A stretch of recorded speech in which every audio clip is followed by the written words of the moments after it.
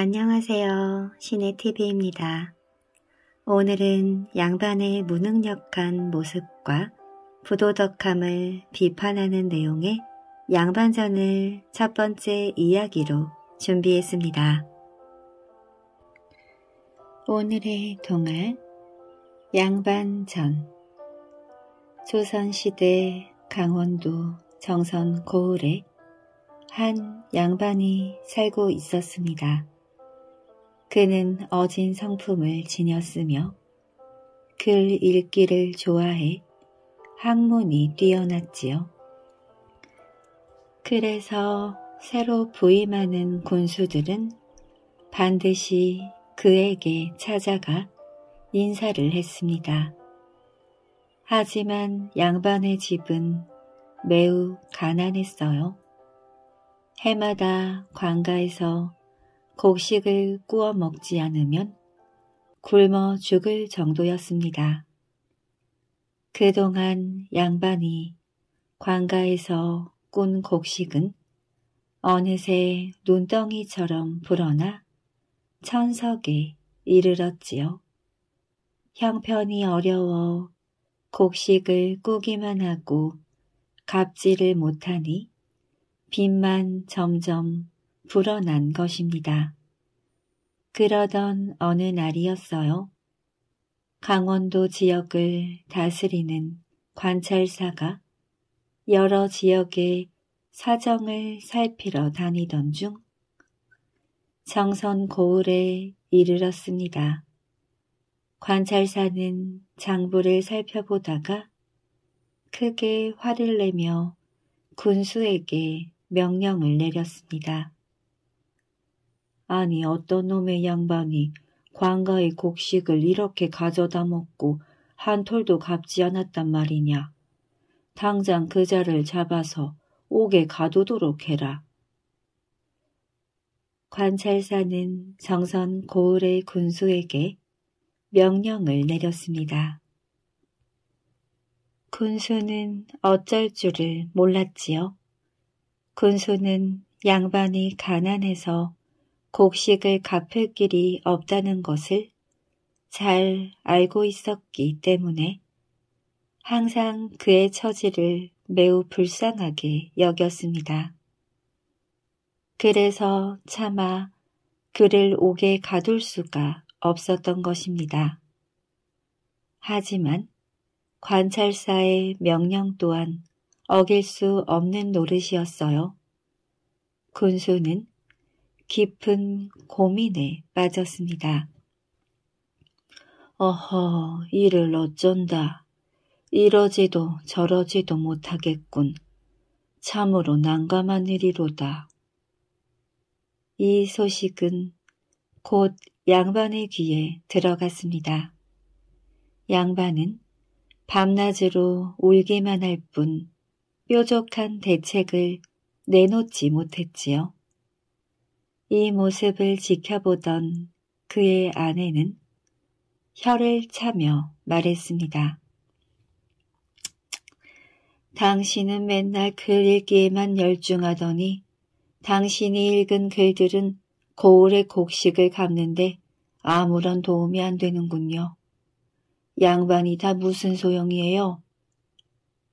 가뜩이나 관가에 끌려가게 된 마당에 아내에게까지 모욕을 당하니 양반의 체면이 말이 아니었습니다. 한편 건너 마을에는 한 부자가 살고 있었습니다. 그는 비록 재산이 많았지만 족보도 없는 평민이었지요. 그래서 늘 가족들에게 이렇게 신세 한탄을 했습니다. 양반들은 아무리 가난해도 높은 대접을 받지만 우리는 재물이 많아도 언제나 천한 대접을 받지 않느냐. 게다가 양반과는 감히 말을 섞을 수도 없고 양반만 보면 코가 땅에 닿도록 절을 해야 하니 참으로 딱한 노릇이다. 그러면 옆에 있던 아들이 부자의 말에 맞장구를 치곤 했습니다. 맞아요. 우리가 아무리 재산이 많으면 뭐해요? 양반이 아니면 자손 대대로 천하게 살아야 한다고요. 그러나 오늘은 다른 날과 달랐습니다. 부자가 양반의 소식을 알고 있었기 때문이지요. 부자는 가족들에게 자신의 생각을 전했습니다. 듣자 하니 건넌마을 양반이 관가의 곡식을 갚지 못해 옥살이를 할 처지에 놓였다는구나. 내가 그 곡식을 대신 갚아주고 양반을 사면 어떻겠느냐? 좋고 말고요. 가족들은 부자의 말에 손뼉을 치며 좋아했습니다. 부자는 즉시 양반을 찾아가 자기가 대신 곡식을 갚아주겠다고 말했지요. 아무런 대책 없이 손을 놓고 있던 양반은 이게 웬 떡이냐 싶어 그 자리에서 승낙했습니다. 좋소이다. 하늘이 무너져도 솟아날 구멍이 있다더니 정말 고맙구려. 아니올시다. 덕분에 우리 집도 그토록 바라던 양반 행세를 하게 되었소. 제가 더 고맙지요. 허허. 부자는 뜸도 들이지 않고 관가의 곡식을 가져다 주었습니다. 이것으로 양반은 하루아침에 관가에서 꾼 곡식을 모두 갚게 된 것이지요. 양반이 관가의 곡식을 모두 갚았다는 소식은 군수의 귀에 들어갔습니다. 어허, 참으로 이상한 일이군. 양반이 옥살이를 면하게 되었으니 잘된 일이지만 그 많은 곡식을 어떻게 갚았는지 알 수가 없군. 그동안 마음고생이 많았을 텐데 직접 찾아가 위로도 하고 곡식을 갚게 된 사정도 물어봐야겠다. 군수는 부랴부랴 양반의 집으로 향했습니다. 그런데 양반집 살인문을 열고 들어서던 군수는 깜짝 놀랐어요. 평민 옷을 입은 양반이 마당에 엎드리더니 스스로를 소인이라고 부르며 군수를 감히 쳐다보지 못하고 있었기 때문입니다. 군수는 양반의 손을 잡아 일으키며 물었지요. 아니 그대는 어찌 자신을 이처럼 낮추는 게요? 양반은 더욱 머리를 조아리며 대답했습니다. 황송합니다. 소인은 양반 신분을 팔아 관가의 곡식을 갚았습니다. 그러니 이제 더 이상 양반이 아닙니다. 이제부터는 건넌 마을의 부자가 양반입니다. 양반에게 모든 사정을 들은 군수는 무릎을 탁 치며 부자를 칭찬했습니다. 그 부자야말로 참으로 군자로다. 부자이면서도 재물을 아끼지 않으니 의로운 사람이요. 남의 어려움을 도와주니 어진 사람이요. 낮은 신분을 버리고 높은 양방자리를 얻었으니 슬기로운 사람이로다. 부자야말로 진짜 양반이로다. 군수는 턱수염을 한번 쓸어내리고는 말을 이었습니다. 그러나 서로 양반을 사고 판 것을 증서로 만들어 놓지 않으면 나중에 말썽이 생길 수 있소. 그러니 내가 고을 사람들을 불러 모아 증인으로 세우고 증서를 만들어 주리다. 군수는 고을 사람들을 관가에 불러 모으고 부자와 양반을 나란히 서게 했습니다. 그러고는 증서의 첫머리를 써 내려가기 시작했지요. 먼저 양반의 이름은 여러 가지로 일컫는다. 글만 읽으면 선비라 하고 벼슬길에 나아가면 대부라 하며 덕이 높은 양반은 군자라 한다. 무관은 계급에 따라 서쪽에, 문관은 동쪽에, 차례로 늘어선다. 이 모두를 통틀어 양반이라고 한다. 양반이 된 자는 이제부터 다음과 같은 양반의 도리를 알아야 한다. 새벽 일찍 일어나 등잔불을 밝히고 눈은 가만히 코끝을 보고 발 뒤꿈치를 궁둥이에 모으고 앉아서 글을 외워야 한다. 굶주림을 참고 추위를 견디며 가난하다는 말은 입 밖에 내지 말아야 한다. 모자에 먼지를 털 때에는 소매자락으로 털어 물결무늬가 생기게 해야 한다.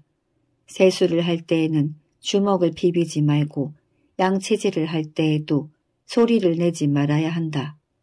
하인을 부를 때에는 목소리를 길게 뽑아서 부르고 걸을 때에는 느릿느릿 걸으며 발 뒤꿈치를 가볍게 끌어야 한다. 군수는 여기까지 적고는 잠시 붓을 떼었습니다. 부자가 증서를 넘겨다보며 넌지시 물었습니다. 다 적었소. 전만의 말씀이요. 아직 멀었소. 군수는 붓에 먹물을 듬뿍 적시고 다시 써내려 갔습니다. 양반은 어려운 책을 깨알같이 작은 글씨로 베껴 쓰되 한 줄에 백자씩 써야 한다. 손으로 돈을 만지지 말며 쌀값을 묻지 말아야 한다. 아무리 더워도 버선을 벗지 못하며 아무리 추워도 화롯불에 손을 쬐지 말아야 한다. 밥을 먹을 때에는 맨 상투바람으로 먹지 말고 국물부터 먹지 말아야 한다. 국물을 마실 때에는 소리를 내면서 마시지 말아야 한다. 술을 마신 뒤에는 수염을 빨지 말고 담배를 태울 때에는 볼이 오목 베이도록 빨아들이지 말아야 한다. 아무리 화가 나도 아내를 때리거나 그릇을 던지지 말아야 한다. 아랫사람을 꾸짖을 때에도 때리지 말아야 한다. 소나 말 같은 짐승을 꾸짖을 때에는 그것을 키운 주인을 욕하지 말아야 한다. 말할 때에는 침이 튀지 않게 해야 하며 사람들과 놀이를 할 때에는 절대 돈 내기를 하지 말아야 한다. 만약 부자가 양반이 지켜야 할 품행을 지키지 않는다면 이 증서를 가지고 관가에 와 옳고 그름을 따져 바로잡을 것이다. 군수는 증서를 다 쓰고 나서 도장을 찍었습니다. 양반을 사들인 부자는 증서의 내용이 영 못마땅했지요. 양반이 되면 좋은 줄만 알았더니 그것도 아니구려.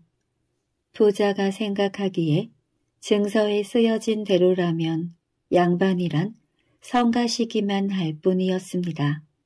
새벽에 일어나 책을 읽어야 한다는 둥, 양치질을 하거나 밥을 먹을 때 요란한 소리를 내지 말아야 한다는 둥, 말할 때 침을 튀기지 말아야 한다는 둥, 화가 나도 그릇을 던지지 말아야 한다는 둥, 더위와 추위를 참아야 한다는 둥, 군수는 잔뜩 찌푸린 부자의 얼굴을 보고 말했습니다. 왜 마음에 안 드시오? 부자는 한숨을 쉬며 투덜거렸어요. 아, 그거 참 양반이란 게 겨우 이런 거라면 난 억울하게 곡식만 빼앗긴 셈이요. 좀 더 좋은 것을 적어주시오. 알겠소. 더 좋은 것을 적어주겠소. 곤소는 흔쾌히 대답하며 증서를 고쳐 썼습니다. 하늘이 백성을 네 가지로 내었으니 그 중 으뜸인 것이 선비라 일컫는 양반이다. 양반은 직접 농사를 짓거나 장사를 하지 않는다. 뿐만 아니라 글을 읽어 과거에 급제하면 벼슬에 오를 수 있고 큰 재물을 얻을 수 있다. 또 사람들이 모두 양반에게 굽신거리니 먹지 않아도 배가 불러진다. 그러나 벼슬 자리에 나아가지 못하고 궁핍하게 사는 양반이라도 무엇이든지 마음대로 할 수 있다. 이웃집 소를 끌어다가 자기 땅을 먼저 갈게 할 수 있고 마을의 일꾼을 잡아다 자기 논에 김을 매게 할 수도 있다. 만약 양반을 넙신 여겨 말을 듣지 않으면 그놈을 잡아다가 코에 잿물을 붓고 상투를 잡아매어 수염을 뽑는다 하더라도 찍소리를 못할 것이다. 군수가 여기까지 썼을 때 부자가 갑자기 소리를 꽥 질렀습니다. 아, 이거 그만두시오. 군수는 영문을 모르겠다는 듯 눈을 크게 뜨고 물었어요. 아니, 이번엔 또 왜 그러시오? 그걸 몰라서 물으시오? 양반은 신성과 같다고 들었는데 이제 보니 참으로 기가 막히고 어처구니가 없구려. 이웃집 소를 마음대로 끌고 가서는 자기 밭을 갈고 일꾼을 마음대로 잡아가서는 마구 부려먹다니 또 말을 듣지 않는 놈은 함부로 잡아다 형벌을 내린다고요? 그게 어디 사람이 할 짓이요? 나를 아주 도둑놈으로 만들 작정이구려. 부자는 자리를 박차고 일어나 머리를 절레절레 흔들면서 달아났습니다. 그 후로 부자는 다시는 양반이란 말을 입 밖에 내지 않았다고 합니다. 오늘의 동화 별로 변한 아이들 한 무리의 인디언들이 황폐한 땅을 등지고 사냥감이 많은 땅을 찾아 길을 떠났습니다. 인디언들은 하루 종일 끝없이 이어지는 벌판을 걸어갔어요. 그러다가 밤이 되면 적당한 곳에 천막을 치고 잠을 잔 뒤 날이 밝으면 또다시 길을 떠나곤 했습니다. 그들은 길을 가다가 산토끼나 다람쥐 같은 동물을 사냥해서 식량으로 삼았으며 물이 고여있는 웅덩이를 발견하면 목도 축이고 목욕도 했습니다. 그렇게 한 달 가까이 이동한 끝에 마침내 목적지에 도착했지요. 인디언들이 다다른 곳은 넓은 호수가 있는 푸른 초원이었는데 그들은 그곳을 매우 아름다운 호수라는 뜻에서 칸 아초라고 이름 붙였습니다.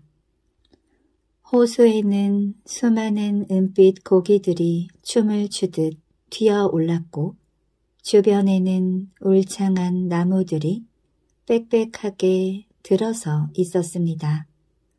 또한 숲속에서는 노루와 사슴들이 뛰어놀았지요. 인디언들은 이곳이야말로 자기들이 찾던 낙원이라 여기고 짐을 풀었습니다. 인디언들의 추장은 물속의 오솔길이라는 뜻의 하야노라고 불렸어요. 하야노는 부족들에게 각기 할 일을 주었습니다. 일부는 숲에 들어가 사냥을 해오고 또 일부는 나무를 베도록 했어요. 그리고 움막을 지을 사람도 정해 주었으며 아이들은 물을 깊게 하고 여자들은 빨래와 요리를 하게 했습니다. 저녁 무렵이 되자 하야노는 부족들을 모두 한 곳에 모이도록 하고 하늘에 감사 기도를 올렸습니다. 우리를 이렇게 훌륭한 땅에 정착하도록 이끌어 주신 점 감사드립니다. 그 후 인디언들은 먹을 것과 잠잘 곳을 걱정하지 않아도 되는 행복한 나날을 보냈습니다. 하지만 날이 지날수록 아이들은 이곳 생활에 지루해했어요. 이곳에는 놀이를 즐길 만한 기구가 하나도 없었기 때문입니다.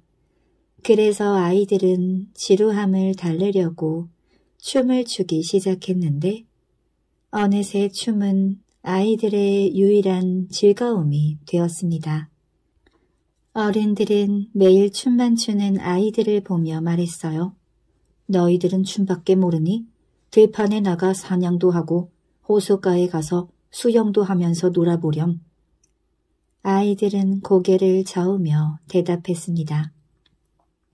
그런 것들은 춤추는 것보다 재미가 없는걸요? 우리는 신나게 춤을 출 때가 제일 재미있어요. 아이들은 매일 호숫가에 모여 흥겹게 춤을 추었습니다.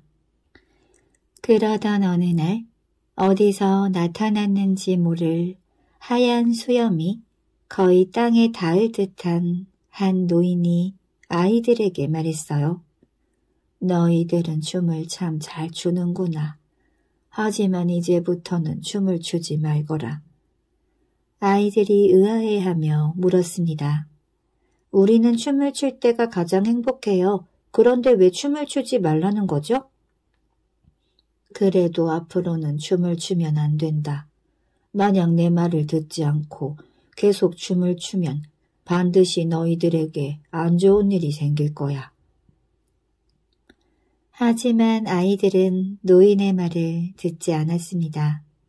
노인이 말을 마치고 돌아서자마자 다시 신나게 춤을 추기 시작했어요. 다음 날도 노인은 아이들 앞에 나타났습니다. 내가 춤을 추지 말라고 분명히 말했을 텐데. 후회하기 전에 내 말을 듣거라. 다시 말하건대 앞으로는 절대 춤을 추지 말아야 해. 그래도 아이들은 막무가내였습니다. 노인이 말할 때만 잠시 멈추는 척 하였을 뿐 노인이 돌아서기만 하면 다시 춤을 추었지요. 그렇게 며칠 동안 노인은 계속 나타나서 아이들에게 춤을 추지 말라고 경고했고 아이들은 노인이 돌아가기 무섭게 계속 춤을 추는 웃지 못할 사태가 이어졌습니다. 하루는 한 아이가 걱정스런 표정으로 말했어요. 그 할아버지의 말대로 우리에게 안 좋은 일이 생기면 어떡하지?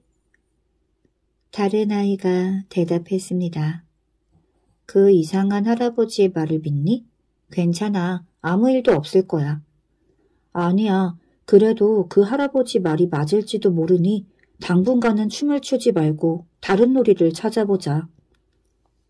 그래, 정 그렇다면 추지 말자. 아이들은 다음 날부터 다른 놀이를 시작했습니다. 소꿉놀이도 해보고 전쟁놀이도 해보았지요. 어른들의 말대로 호숫가에 가서 수영도 해보았습니다. 하지만 모두 시들했지요. 이미 아이들은 춤에 중독이 되어버렸는지 다른 놀이를 하고 있을 때도 오직 춤추는 생각만 했습니다. 결국 아이들은 다시 모여 춤놀이를 했어요. 아이들이 다시 춤을 추며 놀고 있는데도 노인은 나타나지 않았습니다. 그러던 어느 날 아이들은 여느 날과 다름없이 춤을 추며 그 재미에 흠뻑 빠져 있었어요. 점심때가 지났지만 밥을 먹는 것도 잊은 채 계속 춤만 추었습니다. 이제 배도 고프니 우리 밥 먹고 다시 모이자. 한 아이가 그렇게 제안하는 순간 이상한 일이 벌어졌어요. 갑자기 아이들의 몸이 두둥실 떠오르는 것이었습니다. 어라? 내 몸이 갑자기 왜 이렇게 가볍게 느껴지지? 나도 내 몸이 뜨고 있어. 아이들은 모두 점점 하늘로 떠오르고 있었습니다. 모두 배가 고픈 상태에다 매일 춤을 추어왔기 때문에 몸이 깃털처럼 가벼워진 것이지요. 안 되는데 난 땅으로 내려가고 싶어. 살려주세요. 아이들은 모두 겁에 질려 소리쳤지만 몸이 말을 듣지 않았습니다. 아이들 중에서 몸집이 가장 큰 아이가 큰 소리로 말했어요. 절대 뒤를 보면 안 돼. 뒤를 보면 더 나쁜 일이 생기니까. 아이들의 부모들은 뭔가 이상한 일이 일어났을 때는 뒤를 돌아보지 말라고 가르쳐 왔습니다. 뒤를 돌아보면 반드시 나쁜 일이 생긴다는 믿음을 가지고 있었기 때문이지요. 빨리요. 빨리 나와서 저걸 보세요. 그때 불악에 사는 한 사람이 두둥실 떠오르는 아이들을 발견하고 소리쳤습니다. 불악의 어른들이 우르르 몰려왔지만 때는 이미 늦었어요. 아이들은 어른들도 어찌할 수 없는 높이까지 올라가 있었습니다. 부모들은 저마다 자기 아이들의 이름을 부르며 발을 동동 굴렀지만 손을 쓸 방법이 없었어요. 아이들도 그저 땅 밑에서 아우성치는 부모들의 고함 소리를 들으며 점점 하늘로 높이 높이 올라갈 뿐이었습니다.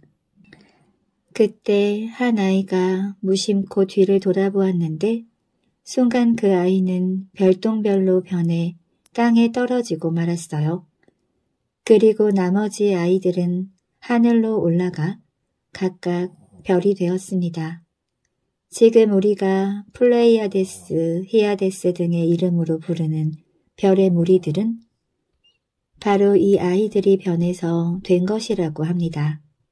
그래서 인디언들은 지금도 유성이 하늘을 가로지를 때마다 그 아이들을 생각하곤 한대요. 그리고 오늘도 하늘에 모여 있는 별들이 마치 춤을 추듯 계속 쉼없이 반짝인다고 믿는답니다. 오늘의 동화 늙은 말 이야기 어느 날 나는 하인에게 마곡간에 있는 늙은 말을 끌어오라고 했습니다. 하인이 끌고 나오자 늙은 말은 힘없이 나를 바라보았습니다. 나는 말을 마당에 앉혀놓고 조용히 다가가 말했습니다. 내가 요즘 너를 지켜보았다. 그런데 이제 나이가 들어 기운이 없더구나. 한때는 너도 바람처럼 빠르게 달리고 무거운 짐도 쉽게 날랐다. 하지만 이제 늙고 지쳐서 예전처럼 빨리 달리지도 못하고 장애물을 뛰어넘지도 못하는구나. 그렇다고 수레를 끌 만한 힘이 있어 보이지도 않는구나.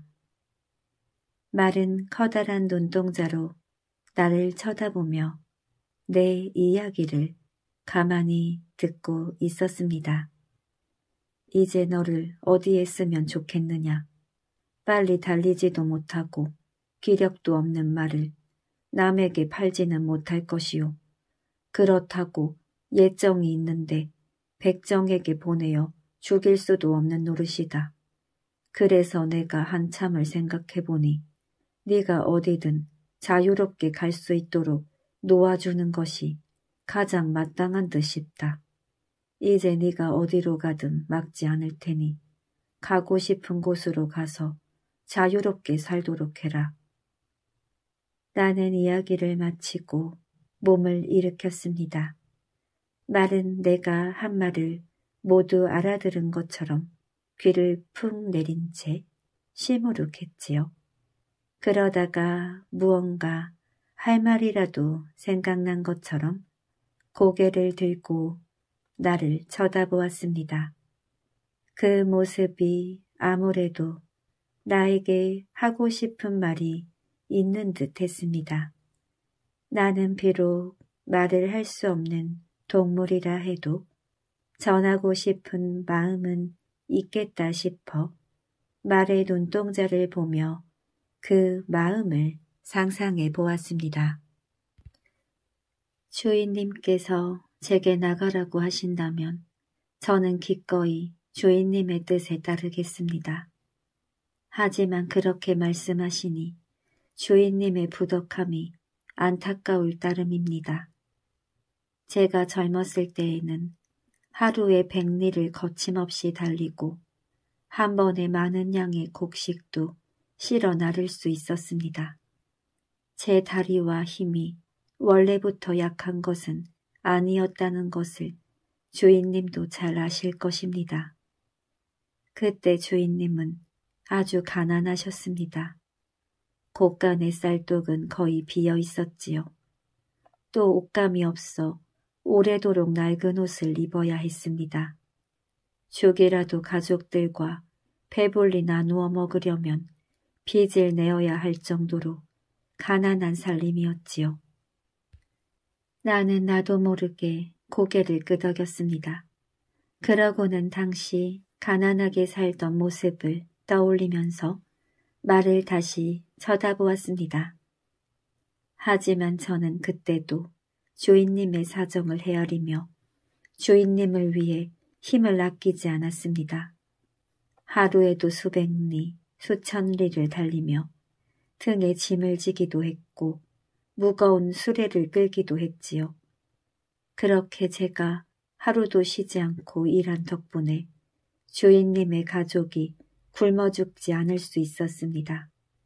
그리고 마침내 주인님께서는 집안을 일으키셨지요. 옛날 한나라를 세운 고조는 말 위에서 천하를 얻었고 주인님께서는 말 위에서 집안을 일으켰다고 말할 수 있을 것입니다. 그러니 그 시절 쉬지 않고 일한 제 공이 작다고는 할 수 없을 것입니다. 당시 저는 한 번도 배불리 먹어본 적이 없고 편안히 쉬어본 적도 없습니다. 배가 고프고 목이 말라도 억지로 일을 했지요. 그렇게 쉬지 않고 몇 해를 일만 했으니 기력이 점점 없어진 것은 당연한 일입니다. 그러니 지금 저의 기력이 쇠한 것은 단지 늙어서 그런 것만은 아닙니다.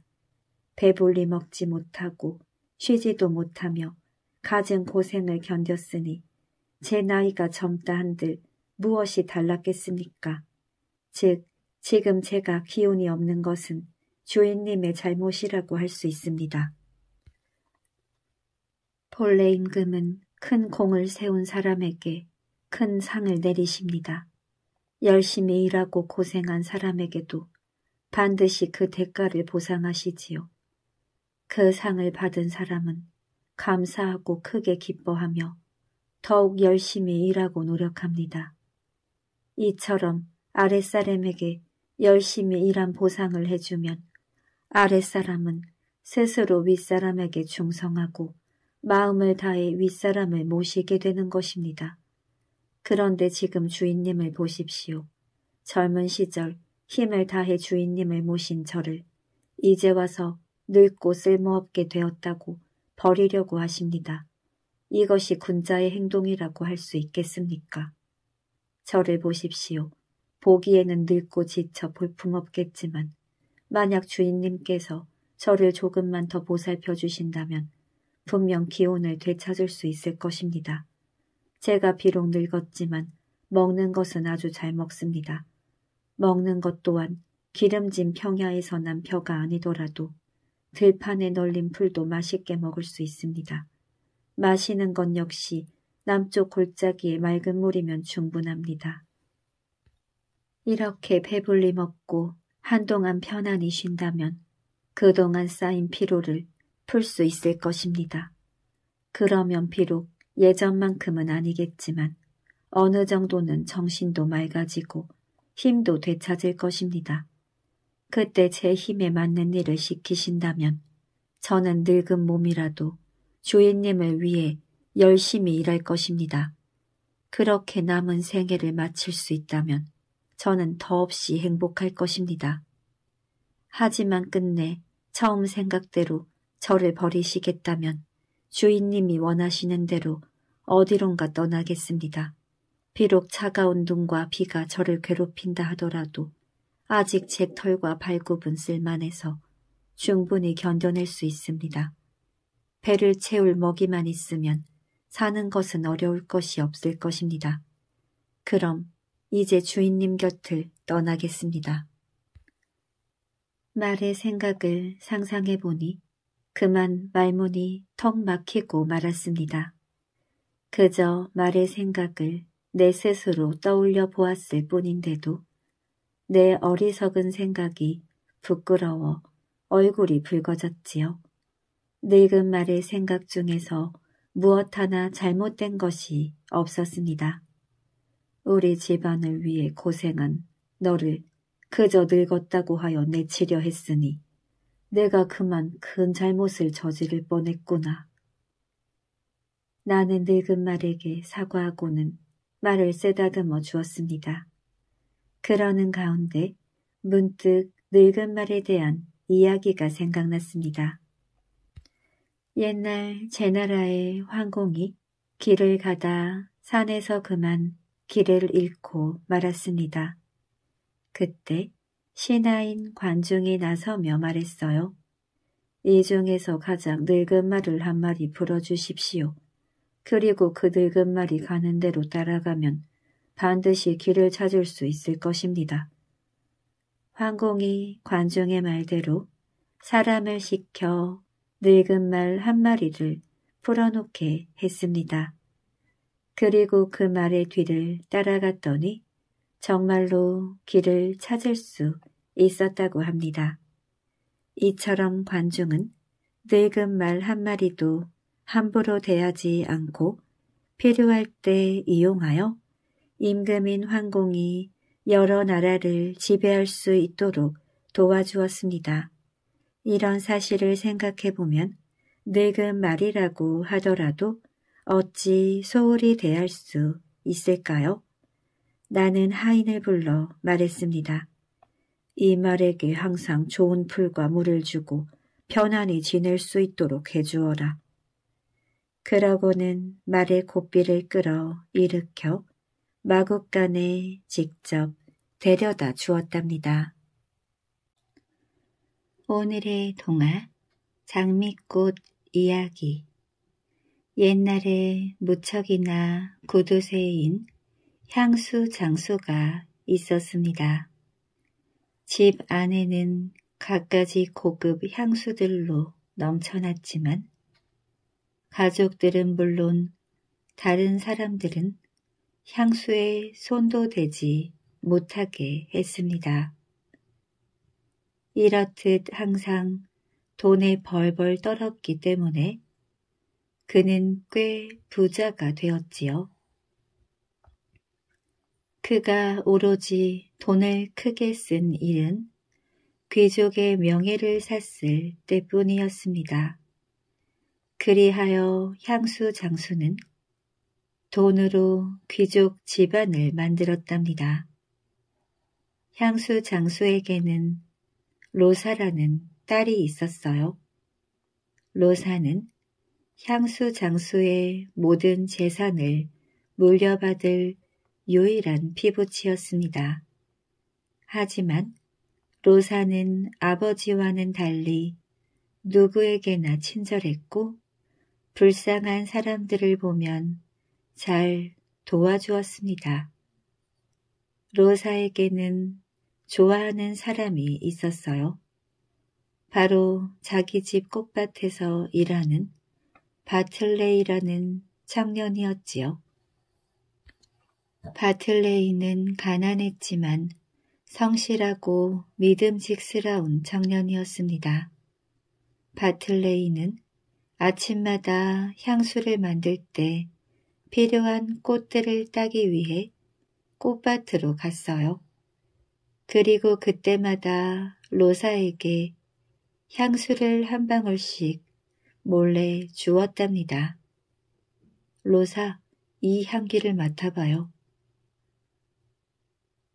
로사는 그가 준 향수를 작은 단지에 정성껏 모았어요. 그리고 그가 보고 싶을 때마다 향수 단지를 열어 향기를 맡곤 했습니다. 몇 년이 지나자 단지는 마침내 향수로 가득 차게 되었어요. 로사와 바틀레이의 사랑도 그만큼 깊어져 갔습니다. 그러던 어느 날이었어요. 전쟁이 났어요. 사람들이 외쳤습니다. 나라 안은 온통 전쟁으로 시끄러웠지요. 전쟁 때문에 청년들은 전쟁터로 끌려가야만 했답니다. 그것은 바틀레이도 마찬가지였어요. 바틀레이 꼭 살아서 돌아와야 해요. 로사, 걱정 말아요. 꼭 돌아올게요. 로사는 바틀레이가 떠난 뒤 꽃밭에서 일하기 시작했어요. 바틀레이 대신 꽃에서 향수를 얻는 일을 하게 된 겁니다. 이젠 내가 당신에게 향수를 드릴게요. 로사는 바틀레이가 그랬던 것처럼 아버지 몰래 향수를 한 방울씩 새 단지에 모으기 시작했습니다. 바틀레이가 돌아오면 선물로 주기 위해서였지요. 단지에 향수를 한 방울씩 떨어뜨릴 때마다 로사는 마음속으로 기원했습니다. 바틀레이가 꼭 제 곁으로 돌아오게 해주세요. 하지만 전장에서는 아무 소식도 들려오지 않았습니다. 단지가 다 차려면 아직 멀었어. 단지가 향수로 다 찰 때쯤이면 틀림없이 돌아올 거야. 로사는 기도하는 마음으로 향수를 모았습니다. 마을 청년들이 돌아오고 있어요. 마침내 마을 청년들이 하나둘씩 마을로 돌아오기 시작했습니다. 아직 단지에 향수가 다 차려면 멀었는데 하느님이 내 기도를 빨리 들어주셨나 봐. 로사는 들뜬 마음에 가슴이 두근거렸습니다. 하지만 얼마 안 가 하늘이 무너지는 것 같은 소식을 들어야만 했어요. 바틀레이와 함께 전장에 나갔던 친구에게서 그가 죽었다는 이야기를 들은 겁니다. 이게 바로 바틀레이의 유해입니다. 친구는 로사에게 작은 상자를 전해주었습니다. 바틀레이. 로사는 상자를 부여잡고 엉엉 울었어요. 그리고 둘이 한 방울씩 모았던 향수 단지를 꺼내 유해에 뿌리면서 서럽게 통곡했지요. 지금 뭐 하는 짓이냐? 아버지는 깜짝 놀라 로사를 다그쳤습니다. 로사는 말없이 울기만 했지요. 하지만 상황을 눈치챈 아버지는 더욱 화를 냈습니다. 비싼 향수를 아무데나 부어 이런 괘씸한 것. 아버지는 흥분한 나머지 향수에 불을 질러 버렸습니다. 그런데 그만 불이 로사에게 옮겨 붙었어요. 로사는 불쌍하게도 향수와 함께 불타버리고 말았습니다. 며칠이 지났어요. 로사가 죽은 자리에서 불띠붉은 꽃이 아름답게 피어났습니다. 바로 그 꽃이 장미였답니다. 오늘의 동화 김홍도 이야기 아이들이 서당에서 글을 읽고 있습니다. 그런데 한 아이는 꾸벅꾸벅 졸고 있네요. 바로 홍도입니다. 홍도는 여간 개구쟁이가 아니었어요. 서당에 갔다 오기만 하면 친구들과 어울려 동네를 휘젓고 다녔지요. 장난을 쳐서 어른들을 골탕 먹이기도 했습니다. 홍도는 노는 거라면 누구에게도 되지지 않았습니다. 홍도는 이상하게 책만 보면 졸음이 쏟아졌어요. 책보다는 병풍 그림을 보는 게 훨씬 재미있었습니다. 그림을 한참 보고 있으면 어느새 그림 속에 들어와 있는 것 같았지요. 꽃 냄새도 나고 새소리도 들렸어요. 이 녀석아 놀지만 말고 글 좀 읽어라. 아빠는 홍도를 몹시 걱정했습니다. 하지만 엄마는 생각이 달랐어요. 엄마는 가끔 홍도를 외삼촌 댁에 데리고 갔습니다. 외삼촌은 그림을 그리는 화가였어요. 홍도는 외삼촌을 잘 따랐고 외삼촌은 홍도를 늘 반갑게 맞아주었습니다. 홍도는 외삼촌이 그린 매화를 보고 깜짝 놀랐어요. 와, 정말 똑같다. 홍도는 외삼촌처럼 멋진 그림을 그리고 싶었습니다. 홍도는 틈만 나면 그림을 그렸어요. 친구들이 노는 모습도 그리고 송아지나 강아지도 그렸지요. 홍도의 그림 솜씨는 하루가 다르게 늘어갔습니다. 홍도는 수치로 땅바닥에다 그림을 그렸어요. 종이에 그리고 싶었지만 집이 가난해서 종이를 살 수가 없었거든요. 큰 종이에 마음껏 그림을 그려봤으면 홍도는 넓은 하늘을 바라보았습니다. 하늘이 마치 커다란 종이처럼 보였어요.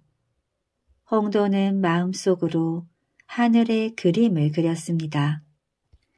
그러던 어느 날 홍도는 마을길을 걷다가 긴 담장을 보고 걸음을 멈추었어요.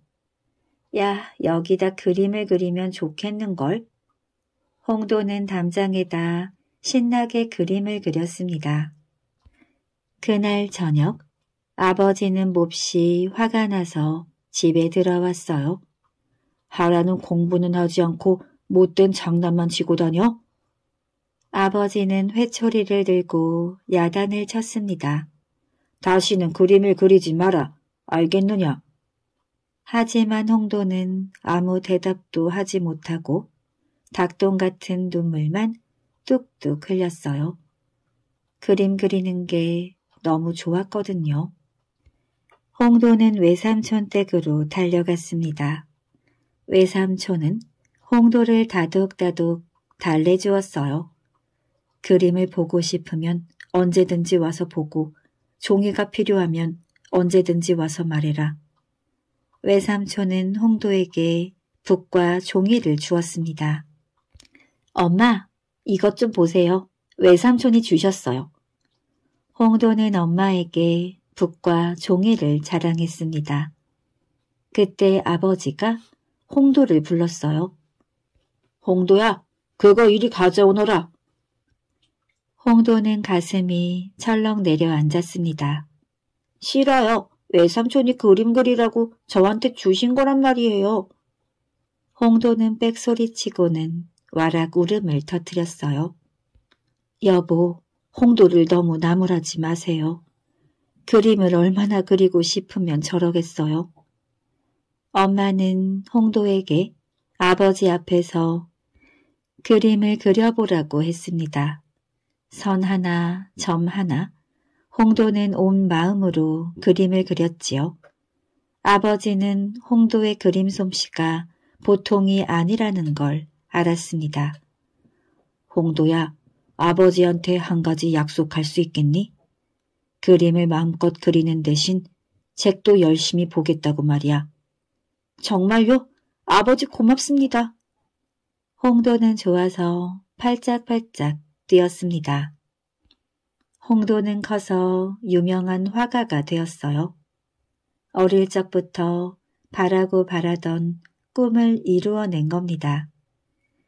그림이 살아 움직일 것만 같네. 이렇게 재미있는 그림은 처음 보는 걸. 모두들 김홍도의 그림에 감탄했습니다. 김홍도는 우리 이웃들의 정다운 모습을 많이 그렸어요.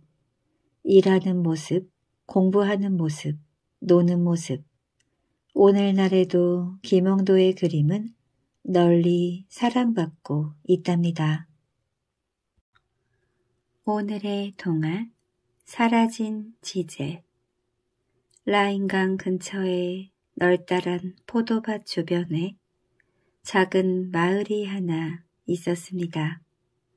가을이면 풍성한 포도 수확을 축하하는 잔치가 열리는 아름답고 평화로운 곳이었지요. 이 마을에 지젤이라는 아름다운 아가씨가 살았답니다. 지젤은 베르트 부인의 외동딸로 일찍 아버지가 세상을 떠나는 바람에 홀 어머니 밑에서 자랐습니다. 베르트 부인이 온 정성을 다해 키운 덕분에 지젤은 마을에서 가장 아름답고 건강한 아가씨가 되었습니다. 또 춤 솜씨도 아주 뛰어났지요. 온 마을의 청년들이 지젤의 아름다움과 춤 솜씨에 반해 그녀를 좋아했습니다. 특히 사냥터를 지키는 힐라리온이라는 청년은 지젤을 무척 좋아해서 늘 그녀의 뒤를 졸졸 따라다녔습니다. 지젤, 이 꽃을 받아줘요. 힐라리오는 지젤의 관심을 끌기 위해 온갖 꽃과 선물을 안겨주었지만 지젤은 조금도 관심을 갖지 않았습니다. 오히려 그를 피해 다닐 정도로 싫어했지요. 지젤이 좋아하는 사람은 얼마 전 지젤의 이웃집으로 이사온 로이스라는 청년이었습니다. 지젤과 로이스는 첫눈에 사랑에 빠졌습니다. 로이스는 마을의 다른 청년들과 달리 멋진 외모와 다정한 말솜씨, 모르는 것이 없을 정도로 폭넓은 지식을 가지고 있었지요. 그래서 지젤의 눈에 로이스는 이웃 나라에서 온 왕자님처럼 멋져 보였습니다. 그런데 이런 로이스의 멋진 점 때문이었을까요? 지젤은 로이스와의 사랑이 늘 불안했지요. 로이스가 지젤의 집에 찾아왔을 때 지젤은 시무룩한 표정이었습니다. 지젤, 무슨 일이죠? 아름다운 얼굴에 근심이 가득하군요. 지젤은 아무런 대답도 하지 않고 꽃잎이 다 떨어진 데이지 꽃을 내밀었습니다. 이건 데이지 꽃 아니요. 그런데 왜 꽃잎이 하나도 없는 거요? 데이지 꽃으로 꽃점을 쳤어요. 꽃잎을 한 장 뜯어낼 때마다 당신이 나를 사랑한다, 사랑하지 않는다. 이렇게 물었지요. 그런데 데이지 꽃이 사랑하지 않는다고 하지 뭐예요? 지젤은 눈물까지 글썽이며 말했습니다. 그러자 로이스는 빙긋 웃으며 데이지 꽃을 하나 꺾었어요. 어디 다시 한번 해볼까요? 당신이 나를 사랑한다. 사랑하지 않는다. 사랑한다. 봐요. 사랑한다고 나왔지요? 정말이네요. 어떻게 된 일이죠? 지젤의 표정이 밝아졌어요. 사실 로이스는 몰래 꽃잎을 한 장 뜯어낸 뒤 점을 쳤습니다. 하지만 지젤은 꽃점이 사랑한다로 나오자 마냥 기쁠 뿐이었습니다. 꽃점은 믿을 게 못 돼요. 내 마음은 데이지 꽃보다 내가 더 잘 아니까요. 로이스가 이렇게 말하자 지젤은 안심이 되었습니다. 그래도 어젯밤 꿈 이야기는 로이스에게 들려주어야겠다고 생각했어요. 무척 걱정스러운 꿈을 꾸었거든요. 로이스, 어젯밤에 꿈에 당신이 아름다운 귀족 아가씨와 결혼했어요. 내가 얼마나 울었는지 몰라요. 지젤의 말에 로이스는 흠칫 놀라는 눈치였습니다. 헛기침을 하며 얼굴까지 빨개졌지요. 그때 갑자기 헬라리온이 지젤의 앞에 나타났습니다. 지젤, 우리 마을 사람이 아닌 사람은 믿으면 안 돼. 힐라리온, 도대체 무슨 짓이에요? 여기까지 나를 쫓아온 거예요? 힐라리온은 지젤이 화를 내는데도 아랑곳하지 않고 로이스를 노려보며 소리를 질렀습니다. 로이스, 넌 무언가 수상해. 내가 꼭 네 정체를 밝혀내고 말겠어. 힐라리온, 당장 사라져. 지젤을 쫓아다니며 괴롭히면 내가 용서하지 않겠다. 로이스도 지젤을 감싸며 힐라리온을 몰아세웠어요. 하지만 힐라리온은 의심쩍은 눈초리를 거두지 않았습니다. 힐라리오는 그 뒤로 쭉 로이스를 관찰했어요. 로이스의 말과 행동이 평범한 농부처럼 보이지 않았기 때문이지요.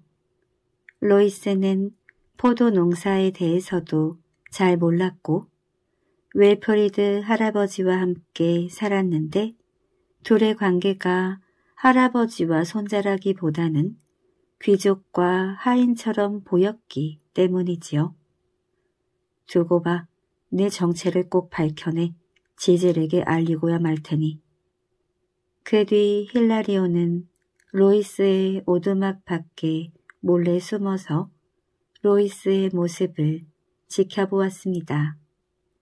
드디어 포도 축제가 열리는 날이 되었어요.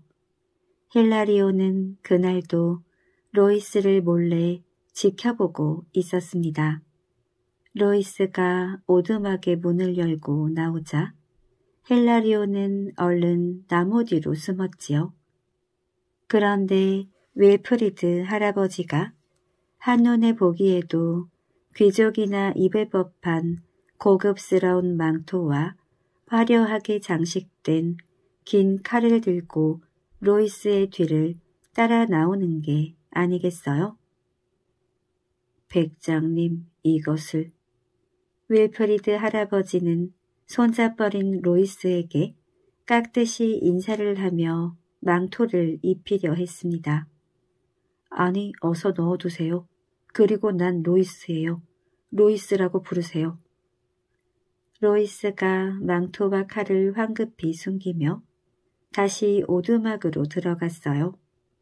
힐라리오는 로이스의 신분이 점점 더 의심스러웠지요. 그래서 로이스와 윌프리드가 사라지기만을 기다렸습니다. 사실 로이스는 평범한 농민이 아니었답니다.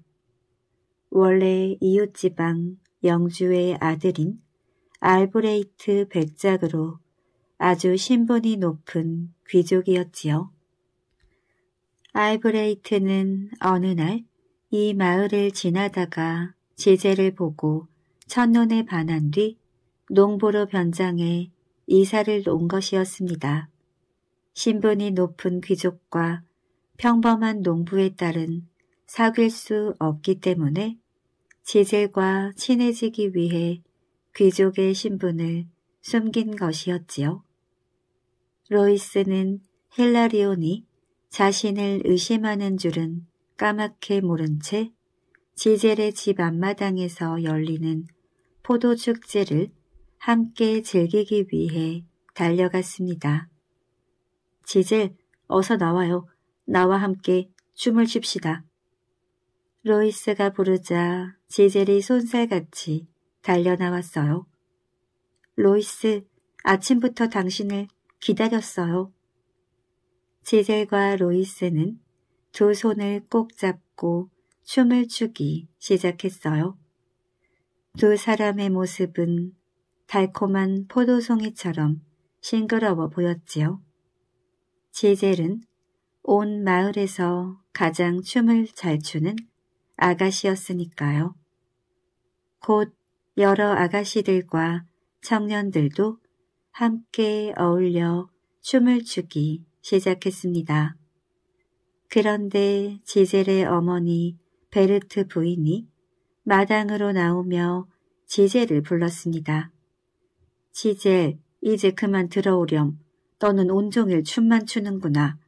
그렇게 춤만 추다 병이라도 들면 어쩌려고 그러니. 하지만 지젤은 춤을 멈추지 않았습니다. 괜찮아요, 엄마. 전 춤을 출 때가 가장 행복한걸요? 안 돼, 지젤. 다른 아가씨들도 잘 들어요. 그렇게 춤만 추다가는 죽어서도 춤만 추는 윌리가 되어버리고 말 거야. 어서 들어와. 베르트 부인은 지젤의 손을 꼭 붙잡고 집 안으로 들어가 버렸습니다. 윌리라는 것은 북유럽 전설에 나오는 결혼 전에 사랑하는 이에게 배신당하고 죽은 처녀 귀신입니다. 지젤, 로이스가 안타깝게 지젤을 불렀어요. 지젤은 곧 다시 나오겠다는 뜻으로 한쪽 눈을 찡긋하며 집으로 들어갔지요. 그때 멀리서 사냥꾼들의 뿔라팔 소리가 길게 울려 퍼졌습니다. 포도 축제를 맞아 영주 콜랜드 공작이 이 마을로 사냥을 나온 것이었지요. 멀리서 공작과 공작의 딸 바틸드의 모습이 보이자 로이스는 당황하며 몸을 숨겼습니다. 사실 로이스는 오래전에 바틸드와 결혼을 약속한 사이였답니다.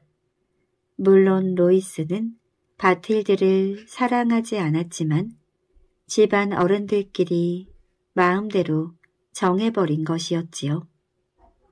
공작 일행이 나타나자 마을 처녀들도 모두 돌아가고 지젤의 집 마당은 금세 텅 비어버렸어요. 베르트 부인만이 나와서 손님들을 맞이했지요.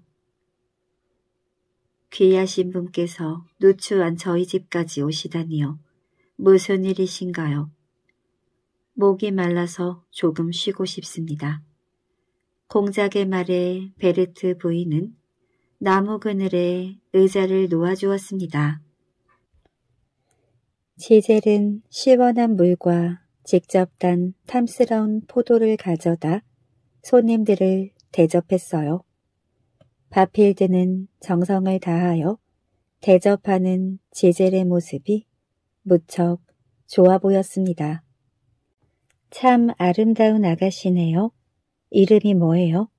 지젤이에요. 지젤이 환하게 웃었습니다. 결혼은 했나요? 아니요. 하지만 곧 하게 될 거예요. 좋아하는 사람이 있거든요. 지젤이 수줍게 대답했습니다. 그러자 바틸드는 목에 건 목걸이를 풀어 지젤에게 내밀었어요. 축하해요. 결혼 선물로 이 목걸이를 줄게요. 정말 예쁜 목걸이에요. 고맙습니다, 아가씨. 지젤은 감사의 뜻으로 아가씨의 손에 입을 맞추었습니다. 베르트 부인은 바람이 조금 쌀쌀하게 불자 공작과 바필드 아가씨를 집안으로 모셨어요. 지젤은 로이스에게 목걸이를 자랑하려고 밖으로 나갔어요. 마침 로이스가 지젤의 앞마당으로 오고 있었습니다. 로이스는 공작 일행이 멀리 가버렸다고 생각하고 되돌아온 것이었지요. 로이스, 이것 좀 봐요. 이 목걸이 정말 예쁘지요? 로이스는 목걸이를 보고 깜짝 놀랐습니다. 얼굴까지 새빨개졌다가 곧 아무렇지도 않은 듯 헛기침을 해댔어요. 로이스는 그 목걸이의 주인이 바필드라는 것을 알고 있었지요. 하지만 지젤은 목걸이를 들여다보느라 로이스의 표정을 살피지 못했습니다. 정말 예뻐. 난 이렇게 화려하고 값진 물건은 처음이에요. 로이스, 이걸 내 목에 걸어줄래요? 제젤과 로이스가 목걸이를 보며 이야기를 나누고 있을 때 갑자기 힐라리온이 나타났습니다. 지젤, 저놈에게 속지 말아요. 힐라리온이 로이스 앞에 망토와 칼을 던지며 소리쳤습니다. 무슨 소리예요? 힐라리온, 이제 그만 좀 해요. 더 이상 로이스를 괴롭히면 내가 용서하지 않겠어요. 지젤, 당신은 속고 있는 거예요. 힐라리오는 로이스를 노려보며 당당하게 소리쳤습니다. 이것은 내 집에서 나온 물건들이다. 이래도 네가 평범한 농부라고 하겠느냐? 네 신분을 밝혀라. 지젤은 망토와 칼을 보며 얼굴이 새하얗게 질렸습니다. 하지만 곧 고개를 세차게 저었어요. 그럴 리가 없어. 로이스가 왜 신분을 속이겠어? 농부가 귀족처럼 변장한다면 몰라도 왜 귀족이 농부 행세를 하겠느냐고. 그렇죠, 로이스? 지젤이 간절한 눈빛으로 로이스를 쳐다보았습니다. 로이스는 아무 말도 하지 않았어요. 힐라리오는 더욱 의기양양해져서 소리쳤지요. 귀족은 평민 처녀와 사귈 수 없으니까 그랬겠지. 아마 지젤과 신나게 지내다가 실증 나면 헌신짝처럼 버리고 가버리려는 속셈이겠지. 말도 안 돼요. 로이스는 그런 사람이 아니에요. 지젤은 맥이 빠져 그만 주저앉아 버렸습니다. 마당에서 소란이 계속되자 공작과 바틸드 아가씨 일행이 밖으로 나왔어요. 아가씨는 로이스를 보고 깜짝 놀라 소리쳤지요. 알브레이트 백장님, 여기는 어쩐 일이세요? 그런데 당신의 차림새가... 알브레이트 백작? 그럼 정말 당신이 귀족이란 말인가요? 힐라리온의 말이 모두 사실인가요? 그럴 리가 없어요. 당신은 나를 사랑하잖아요. 나와 결혼할 거잖아요. 지젤이 울면서 말했습니다. 그러자 바틸드 아가씨가 조용히 말했어요. 지젤, 알브레이트 백장님은 당신과 결혼할 수 없어요. 벌써 나와 약혼을 했는걸요. 바틸드 아가씨는 손에 낀 다이아몬드 반지를 보여주었습니다. 지젤은 절망에 가득 찬 얼굴로 풀썩 주저앉았어요. 그러다 갑자기 일어나 춤을 추기 시작했지요. 지젤의 춤은 슬픔으로 가득 차 보는 이들에게 애처로움을 느끼게 했습니다. 베르트 부인이 제젤을 말리려고 했지만 제젤은 결코 춤을 멈추지 않았지요. 마침내 지젤이 춤을 멈추었을 때는 지젤의 숨도 그만 멈추고 말았답니다. 지젤은 마을 뒷산의 공동묘지에 묻혔습니다. 공동묘지는 커다란 산 밑에 있었는데 주변에는 울창한 나무들과 사람 허리까지 오는 키 큰 풀들이 우거져 있었습니다. 나무들이 하루 종일 해를 가린 탓에 대낮에도 어둡고 축축한 곳이었지요. 줄지어 나란히 세워진 묘지들을 지나면 깊은 연못이 있었는데 검은 물이 넘실거려 세산한 느낌을 더하고 있었습니다. 이 공동묘지의 한쪽에 하얀 나무 십자가가 반짝반짝 빛나는 지젤의 무덤이었지요. 밤이 되면 묘지는 어둠에 잠겼습니다. 깜깜한 하늘과 묘지 사이에 도깨비불이 번쩍번쩍 나타났다 사라지면 묘지는 윌리들의 세상이 되었답니다. 하얀 드레스를 입고 하얀 너울을 쓴 젊은 여자의 모습을 한 윌리들은 밤마다 묘지에 나타나 춤을 추었지요. 오늘도 윌리들의 여왕 미르타가 맨 먼저 춤을 추며 나타났어요. 미르타는 처음에는 혼자 춤을 추다가 곧 나뭇가지를 하나 꺾어 젊은 여자들의 무덤을 하나씩 건드렸습니다. 그러자 무덤에서 윌리들이 하나씩 나와 미르타와 함께 춤을 추었습니다. 윌리들의 춤은 보고 있으면 정신이 쏙 빠질 만큼 묘한 매력이 있었지요. 미르타는 윌리들을 이끌고 지젤의 묘로 다가갔습니다. 미르타가 나뭇가지로 톡 지젤의 무덤을 건드렸어요.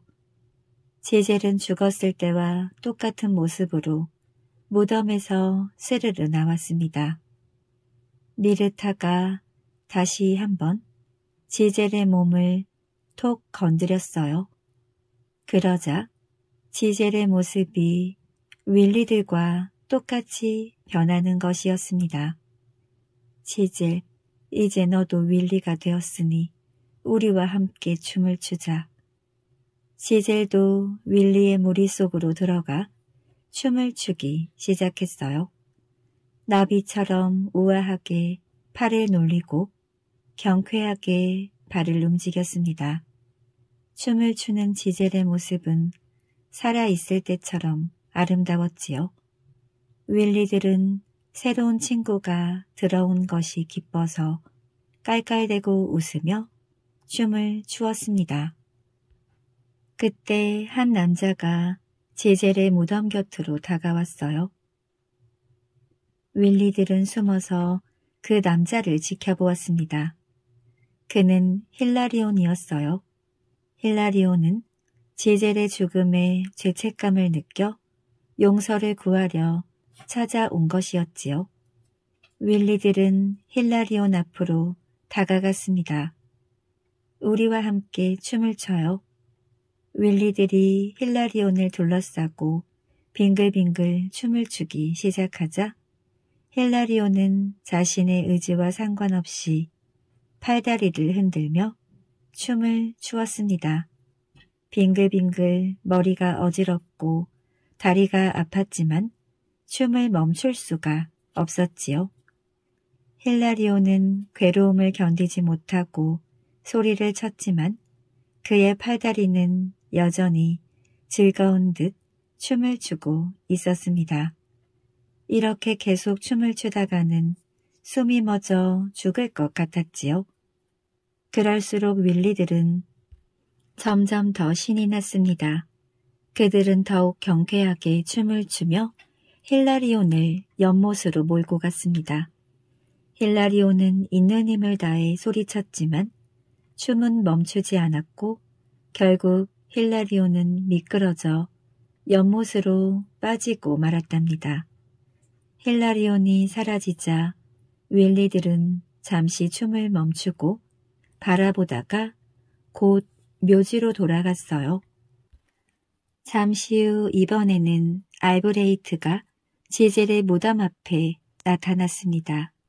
알브레이트는 하얀 백합을 지젤의 무덤 앞에 놓고 무릎을 꿇었어요.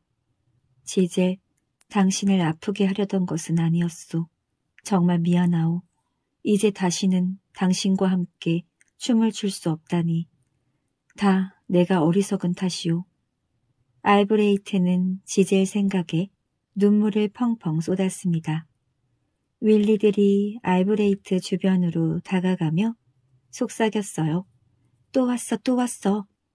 지젤도 윌리의 무리에 섞여 알브레이트 곁으로 다가갔습니다. 지젤, 네가 저 청년을 춤추게 만들어라. 미르타가 명령했어요. 하지만 지젤은 알브레이트를 다치게 하고 싶지 않았습니다. 안 돼요, 여왕님. 제발 이 사람만은 살려주세요. 안 돼. 어둠이 내린 묘지는 우리 윌리들의 세상이야. 이곳에 발을 들여놓은 인간은 특히 젊은 남자는 누구라도 살려둘 수 없다. 어서 저 사람과 춤을 추도록 해. 미르타는 지젤의 부탁을 단번에 거절했어요. 이미 윌리가 된 지젤은 여왕의 명령을 어길 수가 없었습니다. 할 수 없이 지젤은 알브레이트 앞으로 나아갔습니다. 오, 지젤, 당신이 맞소? 알브레이트는 지젤을 보고 벌떡 일어섰어요. 지젤은 춤을 추듯 빙글빙글 돌며 알브레이트를 유혹했습니다. 나와 함께 춤을 추자고? 다시는 당신과 춤을 추지 못할 줄 알았소. 알브레이트는 기쁜 마음으로 제젤과 춤을 추었습니다. 미르타와 윌리들이 제젤과 알브레이트 주위를 돌며 함께 춤을 추었습니다. 춤은 밤새도록 계속되었어요. 지젤, 이제 그만해요. 알브레이트는 계속되는 춤에 지쳐 쓰러질 것 같았습니다. 로이스, 조금만, 조금만 참아요. 곧 날이 밝으니까요. 지젤은 쓰러질 것 같은 알브레이트를 몇 번이나 일으켜 세우며 속삭였어요. 지젤은 밤새 알브레이트를 보호해줄 생각이었습니다. 윌리들과 함께 춤을 추다 쓰러지면 죽게 되니까요. 지젤, 그 남자를 그냥 놔둬 쓰러지게 내버려 두라고. 미르타가 지젤에게 소리쳤지만 지젤은 끝까지 알브레이트를 보호했습니다. 지젤의 사랑이 너무 강해서 미르타의 힘으로도 알브레이트를 죽게 할 수 없었지요. 서서히 날이 밝아왔어요. 어스름이 태양이 뜨기 시작하자 윌리들의 힘도 약해졌습니다. 미르타와 윌리들은 얼른 제 무덤을 찾아 들어갔습니다. 알브레이트를 위협하던 윌리들이 모두 사라지자 지젤도 자신의 무덤 속으로 서서히 사라졌어요. 안녕, 로이스. 내 사랑. 지젤, 지젤. 지젤의 모습이 완전히 사라지자 알브레이트는 지젤의 무덤을 껴안고 울부짖었습니다. 하지만 지젤은 다시 나타나지 않았답니다. 오늘의 동화 구렁이 여인 이야기 보은사에서 그리 멀지 않은 쌀이고리란 마을에 한 젊은이가 몸이 아픈 노모를 모시고 살고 있었습니다. 몰락한 양반가인데다 아버지가 일찍 돌아가신 탓에 집안 형편은 그리 좋지 않았지요. 그러나 글 읽는 것을 좋아하는 젊은이는 낮에는 일하고 밤에는 공부를 열심히 하면서 노모를 극진히 봉양하였답니다. 노모는 그런 아들을 위해 날마다 보은사를 찾아가 기도했어요. 부처님, 제 아들이 꼭 과거에 급제해서 가문을 일으켜 세우고 부디 백성을 위하는 관리가 되게 해주십시오. 어머니는 비가 오나 눈이 오나 아들을 위해 빌고 또 빌었지요.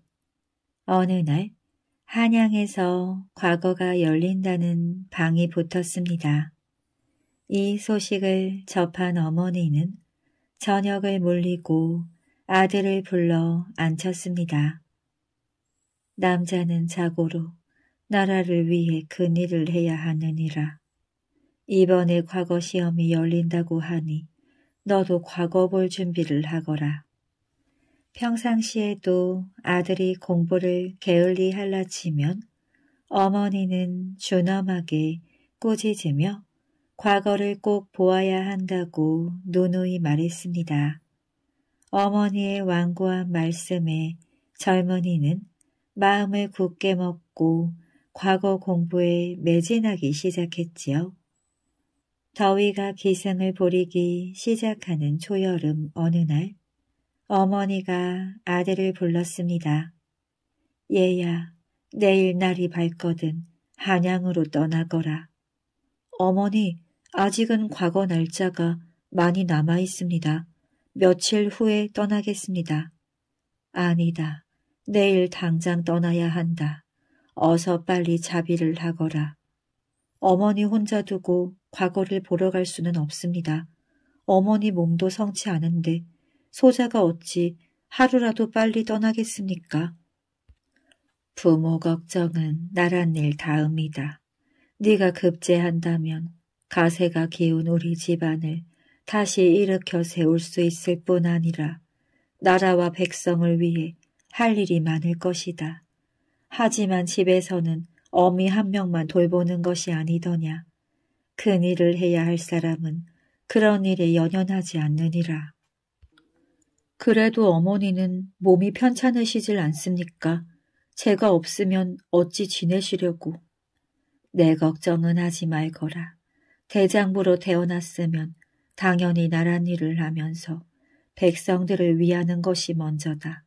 급제하고 관직을 받게 되면 보은사 중창하는 것을 잊지 말거라. 너도 보은사에서 불공을 들여 얻은 귀한 아들이다. 그러니 꼭 불사에 신경 써야 한다. 나는 괴념치 말고 어서 떠나거라. 건강이 좋지 않은 어머니를 홀로 남겨두고 과거를 보러 가는 길이 쉽지만은 않았지만 젊은이는 어머니의 강력한 독촉에 어쩔 수 없이 떠나야 했습니다. 다음 날 과거를 보기 위해 한양으로 떠날 채비를 마친 젊은이가 어머님에게 무난 인사를 올렸습니다. 어머님, 소자 다녀오겠습니다. 제가 없는 동안 부디 건강에 유의 또 유의하십시오. 오냐, 내 걱정 말고 조심해서 다녀오너라. 갈 길이 먼데 가는 동안 고생이 많겠구나. 제 걱정은 마시고 부디 끼니를 거르지 마십시오. 고맙구나. 그런데 얘야 꿈자리가 몹시 뒤숭숭하구나. 오가는 길에 여자를 만나거든 조심 또 조심하거라. 행여 주막에서 밥을 먹더라도 여자 근처에서는 먹지 말거라. 왠지 몹시 불길한 예감이 드는구나. 네, 어머님 말씀 명심 또 명심하고 견눈질도 하지 않겠습니다. 제가 없는 동안 어머니 건강만이 염려되옵니다. 그래, 어미 걱정은 말고 잘 다녀오너라. 어머니는 아들에게 주머니를 하나 건네주었습니다. 그동안 노잣돈 하려고 모은 것이다. 절대로 끼니 거르지 말고 꼭 급제하여 돌아오너라. 그것이 하늘에 계신 네 아버지에게도 효도하는 길이니라. 네, 어머님. 아들은 어머니에게 절을 올렸습니다. 어머니가 대문 앞까지 나와 아들의 어깨를 두드리며 배웅했지요. 늙고 쇠약한 어머니를 혼자 두고 떠나는 것이 마음에 걸렸지만 반드시 과거의 급제에서 어머니를 편하게 모시리라 다짐하면서 젊은이는 길을 재촉했습니다. 기울어진 가세도 바로잡고 어머니의 말씀대로 백성을 위하는 관리가 되리라 결심한 것이지요.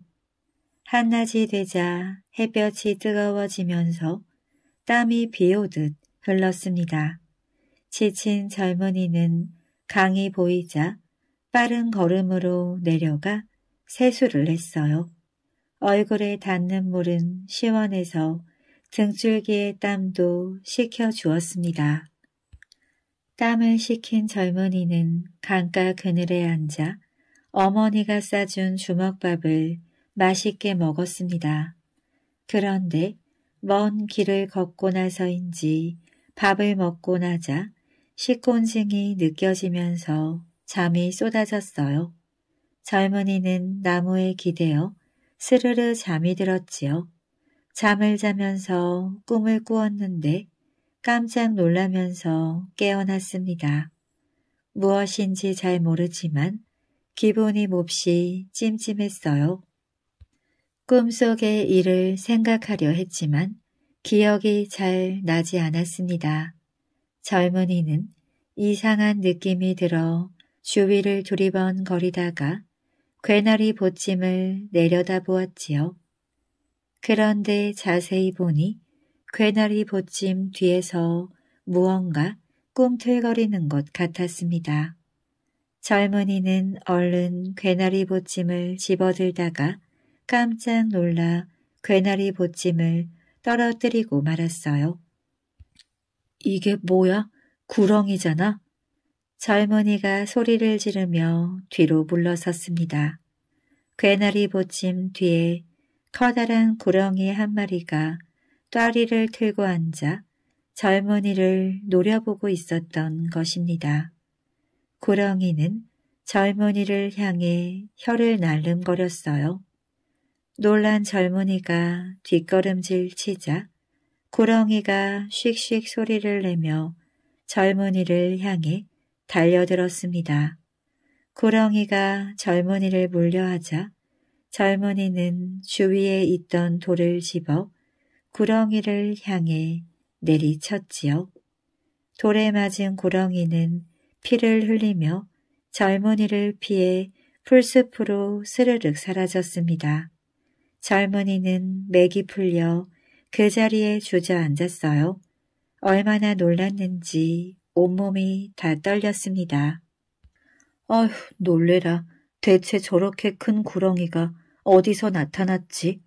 꿈에서도 구렁이가 나오더니 이곳에서도 구렁이가 가슴을 진정시키고 보찜을 살피던 젊은이가 무언가 생각난 듯 소리쳤습니다. 아, 그렇구나. 저 구렁이가 좀 전에 꾼 꿈속의 여인이 틀림없어. 구렁이로 변한 여인. 어머니가 여자를 조심하라고 하셨는데 바로 저 구렁이가 여자로 변신한 거였어. 하마터면 구렁이한테 물려 죽을 뻔했는데 어머니가 나를 살리셨구나. 젊은이는 꿈을 기억해내고는 그 자리에 주저앉았습니다. 등에서는 식은 땀이 주르륵 흘렀어요. 꿈의 내용은 다음과 같았습니다. 보은사에서 조지 스님의 심부름을 떠난 어린 사미승이 조포 나루터에 도착했습니다. 나루터엔 강을 건너려고 하는 사람은 없고 사공만이 그늘에 앉아 졸고 있었지요. 사미승은 사공을 깨웠습니다. 이보시오 사공. 급하게 강을 건너야 하니 배를 띄워주겠습니까? 잠에서 깬 사공이 삼위승을 보며 말했습니다. 삼위승이라도 뱃삭을 내야 배를 탈 수 있소. 배를 거저 탈 생각은 아예 하지 마시오. 네, 뱃삭은 얼마든 드리겠습니다. 삼위승은 바랑에서 제법 묵직해 보이는 엽전 꾸러미를 꺼냈습니다. 가난한 삼위승이 그 많은 돈을 가지고 있다니 엽전 꾸러미는 대체 어디서 난 것이오? 이 돈은 저 강가에 있는 보은사를 중창할 돈입니다. 그동안 신도들이 시주한 돈을 모은 것이지요. 큰 스님께서 이 돈을 강 건너에 있는 대장간에 갖다 주라고 하셨습니다. 저는 큰 스님의 심부름을 가는 길입니다. 삼이승은 차분한 목소리로 또렷하게 대답했습니다. 보은사를 중창할 돈이라고요? 부처님을 모신 저를 수리하는 데 쓰는 거라는데 건네주어야지 돈은 안 내도 되니 어서 배에 오르시오. 사공은 사미승을 태우고 힘차게 노를 저었습니다. 햇볕은 따가웠지만 강 바람은 시원했답니다. 사미승은 배 안에 앉아 강가의 풍경을 바라보았어요. 나무들이 우거진 강가의 풍경은 그대로 한 폭의 그림 같았습니다. 그때 한 여인이 사공을 부르는 소리가 들렸습니다. 여인은 치마자락을 부여잡고 숨가쁘게 뛰어오고 있었지요. 여보세요, 사공. 잠깐만 기다려요. 저도 배를 타야 한답니다. 사공이 여인을 쳐다보더니 냉정한 목소리로 말했습니다. 안 돼요. 배가 이미 강물을 타기 시작했으니 다음 배가 올 때까지 기다리시오. 정말 급해서 그럽니다. 다음 배를 기다릴 여유가 없습니다. 저 좀 태우고 가세요. 여인은 계속해서 사공을 향해 소리를 지르며 배를 세우라고 손짓했습니다. 여인의 모습이 애처로워 보인 삼이승이 말했어요. 사공, 배를 돌려 저 여인을 태우고 함께 갑시다. 저 여인도 몹시 급하게 강을 건너야 하는가 봅니다. 그러나 사공은 들은 채도 하지 않고 여인을 향해 큰 소리로 외쳤지요. 이 배에 탄 손님은 스님이라 여자는 태울 수가 없소. 그러니 그리하시오. 아니 저 때문에 여인을 태울 수 없다니 그런 법이 어디 있습니까? 이왕이면 함께 가는 것이 좋지 않겠습니까?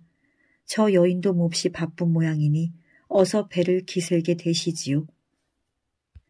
삼이승의 착한 마음을 어여삐 여긴 사공은 하는 수 없이 배를 돌려 여인을 태웠답니다. 스님 덕분에 배를 탔습니다. 고맙습니다, 스님. 여인은 삼이승을 향해 인사를 하더니 허리춤에서 엽전을 꺼내 입술을 삐죽거리며 사공 발밑에 던졌습니다. 그러고는 삼이승을 향해 배시시 웃으며 물었어요. 새님은 어디로 가십니까? 소승은 절 중창에 필요한 연장을 맞추러 대장간에 가는 길입니다.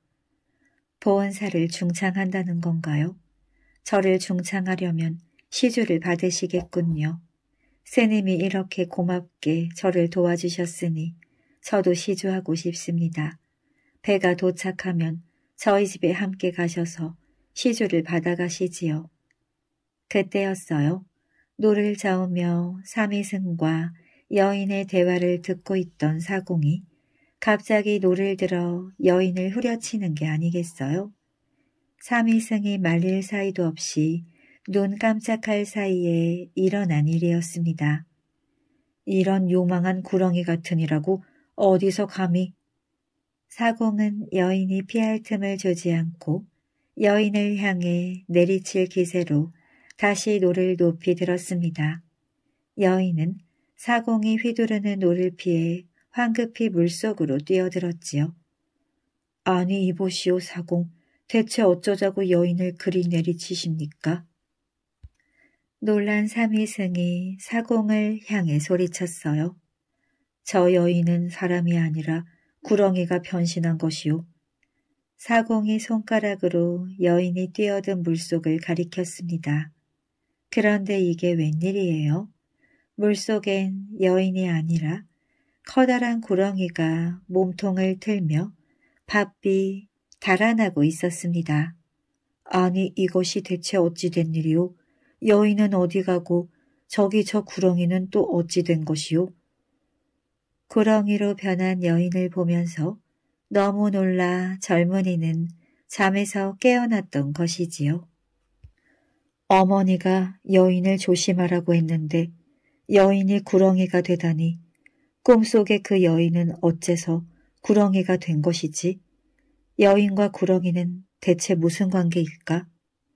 젊은이는 의문이 들었지만 곧 보은사에 들러 어머니를 위한 기도를 하고 길을 떠났습니다. 젊은이는 어머니를 모시고 보은사에 자주 갔었답니다. 보은사는 실륵사라는 이름에서 보은사로 바뀌었어요. 몇백 년의 세월을 고스란히 견딘 절은 예전의 웅장한 모습을 잃고 쇠락해 겨우 명맥을 유지하고 있었습니다. 하지만 왠지 볼수록 정이 가고 집처럼 편안함이 느껴져서 젊은이는 어머니를 모시고 보은사를 자주 찾곤 했어요. 젊은이가 나루터에 도착하자 늙은 사공이 빈 배에 앉아 손님을 기다리고 있었어요. 노인장, 강을 건너야 하는데 지금 배를 태워주실 수 있습니까? 예, 어서 타시오. 그런데 젊은이는 어디를 그리 급히 가시오?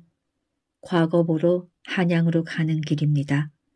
젊은이는 귀를 잘못 들었소. 여기가 조포나루 아닌가요? 사공이 대답 대신 젊은이를 쳐다보며 물었습니다. 젊은이, 오늘 낮에 혹시 커다란 암구렁이를 보지 않았소? 네, 괴나리 보찜 뒤에 구렁이가 있었지요.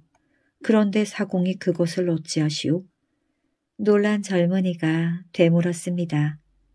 낮에 일어났던 자신의 일을 사공이 알고 있다니요. 정말 깜짝 놀랄 일이었습니다. 그런데 가만히 보니 사공의 모습이 어째 꿈속의 사공과 몹시 닮은 것 같기도 했습니다. 여기가 나루가 맞긴 하나 이 배는 강 건너마을로 가는 것이 아니라 저승으로 가는 배라오. 저승으로 가는 배라면 제가 죽었다는 말씀입니까? 아직은 죽지 않았소. 하나 이 배를 타면 다시는 이승으로 돌아오지 못하오. 젊은이의 몸에 소름이 쭉 끼쳤습니다. 자신은 분명 강 건너마을로 가기 위해 나루터에 왔는데 나루에 있는 배가 저승으로 가는 배라니요. 무엇이 어떻게 되는 상황인지 도무지 알 길이 없었던 것입니다. 그렇다면 사공, 내가 아직 죽은 목숨은 아니지만 이 배를 타는 순간 죽는다는 말이구려. 그렇소이다. 어차피 죽을 목숨이라면 어쩔 수 없지만 집에 홀로 계신 어머님이 걱정입니다. 젊은이는 어머니 생각에 눈물을 흘렸습니다. 늙고 병든 어머니를 봉양할 사람이 자신밖에 없었는데 이제 자신이 죽고 나면 어머니를 누가 봉양할까 생각하니 가슴이 끊어질 듯 아팠던 것입니다. 자신이 죽고 나면 슬퍼할 어머니의 모습이 눈에 보이는 듯해 젊은이는 눈물을 뚝뚝 흘렸습니다. 노인장, 그러면 저는 지금 죽은 것입니까? 산 것입니까? 제가 죽는 것은 두렵지 않으나 홀로 남겨질 어머니에게 막심한 불효를 짓게 되어 그것이 가슴 아플 뿐입니다. 어머니는 어찌해야 합니까? 젊은이는 아직 죽지 않았소이다. 어머니를 극진히 섬기는 젊은이의 효심 때문에 아직 살아있는 것이요. 그럼 이제 저는 어찌 되는 겁니까? 어머니는 오늘 아침 젊은이가 길을 떠나자 곧 돌아가셨소. 자신이 죽을 것을 알고 젊은이를 재촉한 것이요. 어머니는 돌아가시자마자 불법의 수호신인 보은사 나찰이 되었소. 어머니가 돌아가셨다고요? 어머니의 임종도 지키지 못했다니 세상에 이런 불효가 또 어디에 있단 말입니까? 어머니가 돌아가신 마당에 과거 시험이 다 무슨 소용이요? 내가 아직 살아있으니 집으로 돌아가 당장 어머니의 장례를 치러야겠습니다. 젊은이가 말했어요. 그러나 사공은 젊은이의 말에 아랑곳하지 않고 계속 말을 이어갔습니다. 젊은이, 돌아가신 어머니는 백녀라는 마귀의 집으로 들어갔소. 어머니가 그 동굴로 들어가자 천성이 나쁜 마귀는 쫓겨나게 되었다오. 불법의 수호자에겐 당할 수가 없으니까 말이요. 집을 빼앗긴 마귀는 화가 나서 구렁이로 변신해 젊은이를 어머니 대신 해치려고 한 것입니다. 그런데 다행히 나한테 들켜 당신을 해치지 못한 것이요. 구렁이요? 그렇다면 꿈에서 구렁이로 변한 여인이 그 마귀란 말씀입니까? 그렇다면 구렁이를 내리친 사공이 지금 그렇소. 젊은이는 다시 꿈을 생각해냈습니다. 삼이승과 구렁이로 변한 여인, 그리고 사공, 이제야 무언가 실마리가 잡히는 듯 했어요. 어머니가 여인을 조심하라는 말은 결국 구렁이를 조심하라는 것이었지요. 노인장, 그러면 꿈속의 삼이승은 누굽니까? 바로 젊은이요. 네?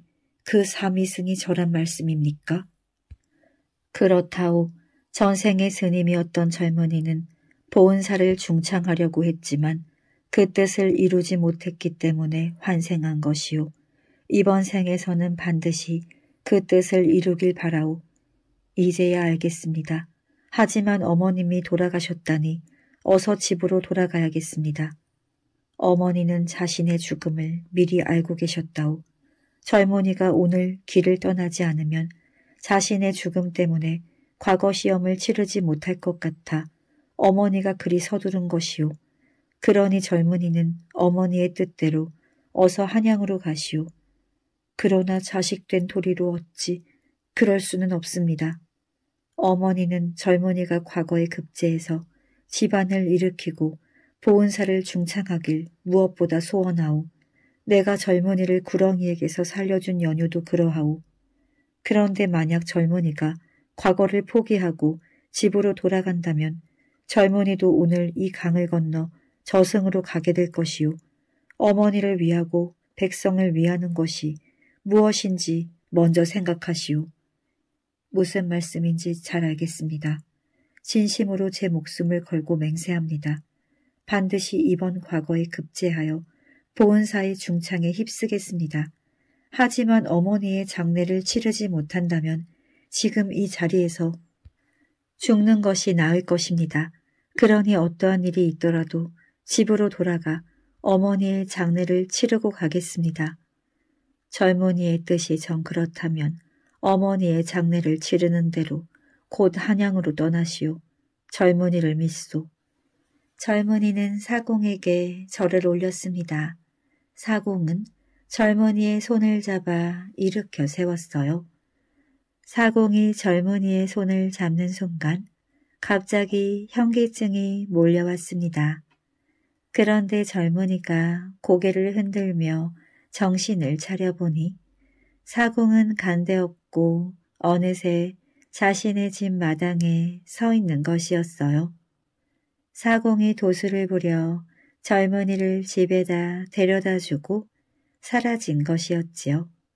젊은이는 주위를 돌아볼 새도 없이 안방으로 뛰어들어갔습니다. 어머니는 반듯하고 편안한 자세로 이불 속에 누워 있었어요. 어머니, 정신 좀 차리십시오. 제가 왔습니다. 젊은이는 어머니를 끌어안고 오열했지만 이미 숨을 거둔 어머니는 대답할 리가 없었습니다. 어머니 머리맡에는 편지가 놓여 있었어요. 젊은이는 눈물을 흘리면서 어머니의 편지를 읽었습니다. 아들아 보거라. 어미의 죽음을 너무 슬퍼하지 말거라. 어미는 아주 편안하게 부처님 곁으로 간다. 그러니 너는 어미의 소원대로 꼭 장원급제하여 가문을 일으켜 세우고 백성들에게 존경받는 관리가 되어라. 첫째도 백성, 둘째도 백성을 생각하거라. 어미의 부탁대로 보은사를 꼭 중창하길 바란다. 너를 점지해준 부처님과의 약속이다. 자식을 간절히 원하며 보은사에서 기도하는데 부처님이 나타나 내게 꽃을 주었다. 그러고는 너를 잉태하여 낳았느니라. 그러니 너는 보은사를 꼭 중창해야 한다. 어미는 보은사에 넋을 두고 언제나 네 곁에서 너를 위해 기도할 것이다. 건강하거라. 어머니의 편지를 읽은 젊은이는 슬픈 마음을 견디며 어머니의 장례를 치렀습니다. 장례를 치르고 한양으로 올라가는 길에서도 공부를 게을리하지 않은 젊은이는 과거 시험에서 장원 급제하였답니다. 젊은이는 자신의 고향인 여주의 원림으로 오게 되었어요. 어머니, 절 받으십시오. 어머니의 소원대로 소자 장원 급제하여 여주 고을에 부임했습니다. 어머니의 뜻을 받들어 백성들을 위하는 관리가 되겠습니다. 꼭 보은사를 중창할 테니 어머니 이제 편안히 쉬세요. 젊은이는 어머니의 묘소를 찾아 절을 올리며 어머니와 굳게 약속했지요. 젊은이는 여주의 원님으로 부임한 후 어머니의 유언대로 사람들에게 정성을 다했고 살기 좋은 고을로 만들어 나갔습니다. 젊은이는 시간이 나는 대로 자신의 어머니가 나찰로 살고 있다는 보은사를 찾아 기도하며 중창에도 힘썼어요. 그리하여 마침내 보은사는 새롭게 단장하게 되었답니다. 오늘의 동화 머슴을 양반으로 만든 기생 광해군이 왕으로 있을 때였습니다. 평양에 유명한 기생이 있었는데 나이는 17이었어요. 그 기생은 기생이면서도 몸가짐을 단정히 해 웃음을 팔거나 정조를 팔지 않았습니다. 항상 천한 기생이지만 마음속으로는 반드시 한 남자에게 일생을 맡기겠다는 생각을 했기 때문입니다. 그녀의 미모를 흠모해 가까이 두려는 남자들이 한둘이 아니었지만 지위가 높던 낮던 그들의 소원은 이룰 수 없었습니다. 매를 치고 부모를 가두는 등의 몹쓸 짓을 해도 흔들리지 않아 주위 사람들은 그녀를 괴물 취급하듯 했어요. 부모들도 이왕 이럴 바에 혼인을 시키려 했지만 자신의 백년해로 할 남편은 직접 고를 것이라면서 마다했습니다.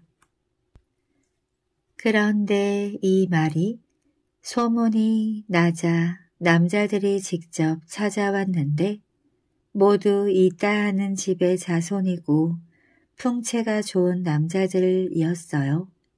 하지만 그녀는 모두 자신의 배필이 아니라며 물리치고만 있었습니다. 어느 날 평양 동쪽 대동문에 누각에 앉아있던 그녀는 성 밖에서 뗄나무를 지고 가는 한 노총각을 보고 자신의 남편감으로 점찍었습니다. 아버지에게 그 노총각을 남편으로 맞을 것이라며 노총각에게 청혼을 해달라고 했어요. 아버지는 답답했습니다. 내가 무슨 생각으로 그러는지 나는 도통 모르겠다.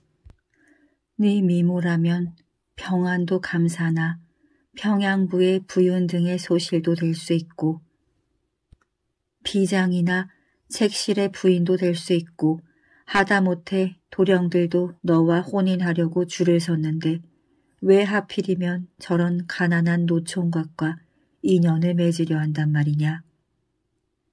마리아 이렇게 하지만 딸의 성격을 잘 알고 있는 아버지는 그 소원을 들어줄 수밖에 없었습니다. 그래서 곧 중신을 놓아 노총각을 사위로 삼게 되었어요. 혼인을 하자 그녀는 남편에게 이곳에서는 오래 살 수 없으니 서울로 가서 장사를 하자고 했습니다. 남편과 상경에 서대문 밖에 술집을 차렸어요. 술집이 잘 되자 색주가로 소문이 났고 장안의 호걸이란 사람들은 모두 몰려왔습니다. 그녀는 돈의 들고 남을 정확히 계산했는데 그곳에 드나드는 여섯 명에게만은 돈을 받지 않고 술을 달라는 대로 주었어요. 하지만 그들은 한 번도 술값을 갚지 못했고 간혹 염치가 없어 하는 눈치를 보이면 그녀는 이런 말로 달랬습니다. 오늘만 날이랍니까? 오늘이 아니어도 갚기만 하시면 되지 않겠습니까? 그 술꾼들은 목동에 사는 김정원과 이저랑 등이었는데 하루는 그녀가 김정원에게 묵동으로 이사를 하려고 하니 단골이 되어달라고 부탁을 했습니다. 김정원이 말했어요. 아이고 반가운 소리네. 우리가 여기까지 와서 마시는 것도 괴로웠는데 묵동으로 이사를 온다면 집 가까운 나야 자연히 단골이 될 것이네. 당연하지. 묵동으로 이사를 한 그녀는 김정원에게 또 하나의 부탁을 했습니다. 날이 제 남편은 글이라고는 한자도 모릅니다. 업문도 아직 깨치지 못했으니 술값을 장부에 적는 것도 힘듭니다. 그러니 나리마님이 글을 좀 가르쳐 주신다면 선생님께 대한 예의로 매일 술 한 병씩을 보내드리겠습니다. 어려운 일이 아니구만 내일 아침에 당장 배울 책을 들려보내게. 그녀는 통감 넷째권을 구해 책 중 한 부분을 표시해 주면서 말했습니다. 여보, 내일 이 책을 가지고 김정원 날이 댁으로 가서 글을 가르쳐 달라고 하세요. 딸이는 분명히 첫 장부터 배우자고 하겠지만 반드시 이 표시된 부분부터 가르쳐 달라고 하세요. 나리의 말씀을 따르시면 안 됩니다. 결혼 후 한 번도 아내의 뜻을 어겨본 적이 없는 남편은 당연히 그렇게 하마했습니다. 날이 밝자 책을 가지고 김정원의 집으로 간 남편은 부인의 말대로 했어요. 보세, 그 책은 전자문인가? 아닙니다. 통감 넷째 권입니다. 자네에겐 너무 어렵네. 전자문을 구해오게. 이왕 들고 왔으니 이걸로 가르쳐 주십시오. 좋네. 이 책이라고 글이 없는 것도 아니니 그러세. 김정원은 당연히 첫 장을 폈습니다. 남편은 아내가 말한 대로 표시한 곳을 펴며 이곳부터 가르쳐 달라고 했어요. 김정원은 책은 첫 장부터 배우는 것이라 했지만 남편은 표시한 곳을 고집했습니다. 결국 김정원은 책을 집어던지며 돌아가라고 했어요. 집에 돌아온 남편은 부인에게 불만스럽게 말했습니다. 앞으로 김정원에게는 술 주지 맙시다. 괜히 욕만 먹었어. 당신이 진작 그를 알았다면 오늘 같은 일은 없었겠지요. 다 알고 있다는 듯 빙그레 웃으며 그녀는 말했습니다.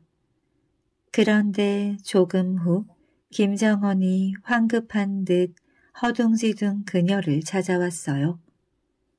자네는 누구인가? 귀신인가? 신인가? 저 같은 천한 것이 이런 때에 양반이 되는 것도 괜찮지 않겠습니까? 김정원이 이런 행동을 한 것에는 이유가 있었습니다. 남편이 들고 간 통건에 표시된 부분에는 한나라 때 장군 곽장이 창읍 왕을 폐위시킨 일이 기록돼 있었습니다. 김정원은 승평 부원군이고 이좌랑은 연항 부원군인데 이때 인조반정 모의가 이루어지고 있었고 그녀는 이미 그 사실을 감지하고 있었습니다. 그래서 일부러 남편에게 통건의 그 부분을 표시해 그들을 시험해 보았던 것이고 승평 부원군도 그녀가 이미 눈치채고 있음을 알고 달려왔던 것입니다. 며칠 뒤 승평 부원군과 뜻을 같이 하는 사람들이 반정을 일으켰습니다. 반정이 성공하자 반정의 공을 따지는 자리에서 평양집의 술값을 먼저 갚아 공을 치하해야 한다는 의견이 다분하자 남편에게 벼슬을 주기로 했습니다. 벼슬을 내리기 위해선 이름이 필요했는데 이름을 몰랐던지라 승평 부원군이 그 사람은 기축년에 태어났으니 이 기축이라 하자고 했습니다. 그리곤 3등 공신으로 장부에 기록함과 동시에 한성 좌연으로 임명했지요. 이 기축은 나중에 병조 참판까지 되었습니다. 자신의 남편을 한낱 머슴에서 병조 참판까지 올려놓은 이 여인의 이름은 동정월이라고 합니다.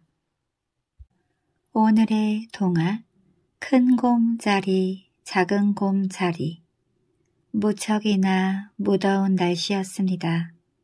님프인 칼리스토는 활과 화살을 풀밭에 내려놓고 나무 그늘 아래 쉬고 있었습니다. 그녀는 기진맥진해 있었어요. 새벽부터 사냥의 여신 아르테미스와 온 산을 뛰어다녔기 때문입니다. 밤이 되면 늘 그랬듯이 친구들과 함께 여신의 꽃밭으로 춤을 추러 갈 예정입니다. 이런 행복한 생각에 취해 그녀는 살짝 잠이 들었습니다. 그 순간 올림포스의 제우스는 잔뜩 화가 나 있었습니다. 젊은 파이톤이 자기 아버진 태양신 헬리오스의 마차를 멋대로 몰다가 사고를 냈기 때문입니다. 이 사건으로 땅은 불길에 휩싸였고 제우스도 재빨리 결단을 내려 대처해야 했습니다. 그 결단이란 이 젊은이에게 삼지창을 던져 벼락을 내리는 것이었습니다. 하지만 제우스는 결국 파이톤의 아버지인 태양신의 마음을 아프게 하고 말았습니다. 그때는 그 밖에 다른 방법이 없었지만 말입니다. 심각한 표정으로 고민에 빠져 있던 제우스는 옥좌에서 벌떡 일어났습니다. 파이톤 때문에 피해를 입은 농작물들을 살펴보러 가기로 결심한 거예요. 그가 아르카디아라는 지방에 다다랐을 때 나무 그늘 아래 누워있는 한 여인의 모습이 눈에 들어왔습니다. 뭔가 범상치 않다고 느낀 제우스가 가까이 다가갔어요. 젊고 아름다운 림프가 그곳에 잠들어 있는 게 보였습니다. 정말 매혹적인 여인이구나. 그녀의 아름다움에 반한 제우스가 중얼거렸습니다. 말을 걸어봐야지. 잠에서 깨어난 칼리스토는 놀라 눈이 휘둥그레졌습니다. 제우스 신이 대체 무슨 이유로 내 앞에 서 있는 거지? 젊고 지혜로운 그녀는 사냥의 여신이 늘 강조했던 대로 자기 몸을 지키리라 맹세했습니다. 하지만 그녀 역시 바람기 많은 올림포스의 제왕에 대해선 이야기를 들어 잘 알고 있었지요. 과연 제우스가 그녀를 가만히 내버려 둘까요? 사냥을 하고 있었느냐? 제우스가 말을 걸었습니다. 네. 님프가 새침하게 대답했어요. 전 당신의 따님인 아르테미스의 친구입니다. 이렇게 말하면 신이 수자 꺼는 걸 단념할지도 모른다고 그녀는 생각했습니다. 하지만 제우스는 전혀 개의치 않았어요. 거리낌 없이 그는 그녀의 아름다움을 칭찬하기 시작했습니다. 너는 정말로 우아하구나. 내가 너를 사랑해도 되겠느냐? 전 너무 피곤해요. 아르테미스와 저는 아침 내내 사냥을 했거든요. 부끄러움으로 얼굴이 빨개진 림프가 변명하듯 대답했습니다. 그러나 이번에도 제우스는 그녀의 대답은 듣지도 않았습니다. 이미 그는 새로운 사랑놀이에 빠져 있었던 것입니다. 제우스가 여자를 유혹하는 방법은 정해져 있지 않습니다. 어떤 때는 다른 모습으로 변신하여 참을성 있게 다가가기도 하고 또 어떤 때는 여자를 거칠게 차지해 버리기도 합니다. 그런데 오늘 그는 뒤의 방법을 택했습니다. 난 너와 사랑을 하고 싶다. 님프의 동그란 얼굴을 바라보며 신이 위험있게 말했습니다. 싫어요. 칼리스토가 반항하듯 대답했어요. 하지만 젊은 님프가 반항하면 할수록 제우스는 더 고집을 부렸습니다. 감히 누가 제우스의 사랑을 거부할까요? 그는 모든 것을 지배하고 최고의 신이 감히 누가 제우스의 사랑을 거부할 수 있을까요? 그는 모든 것을 지배하는 최고의 신이었거든요.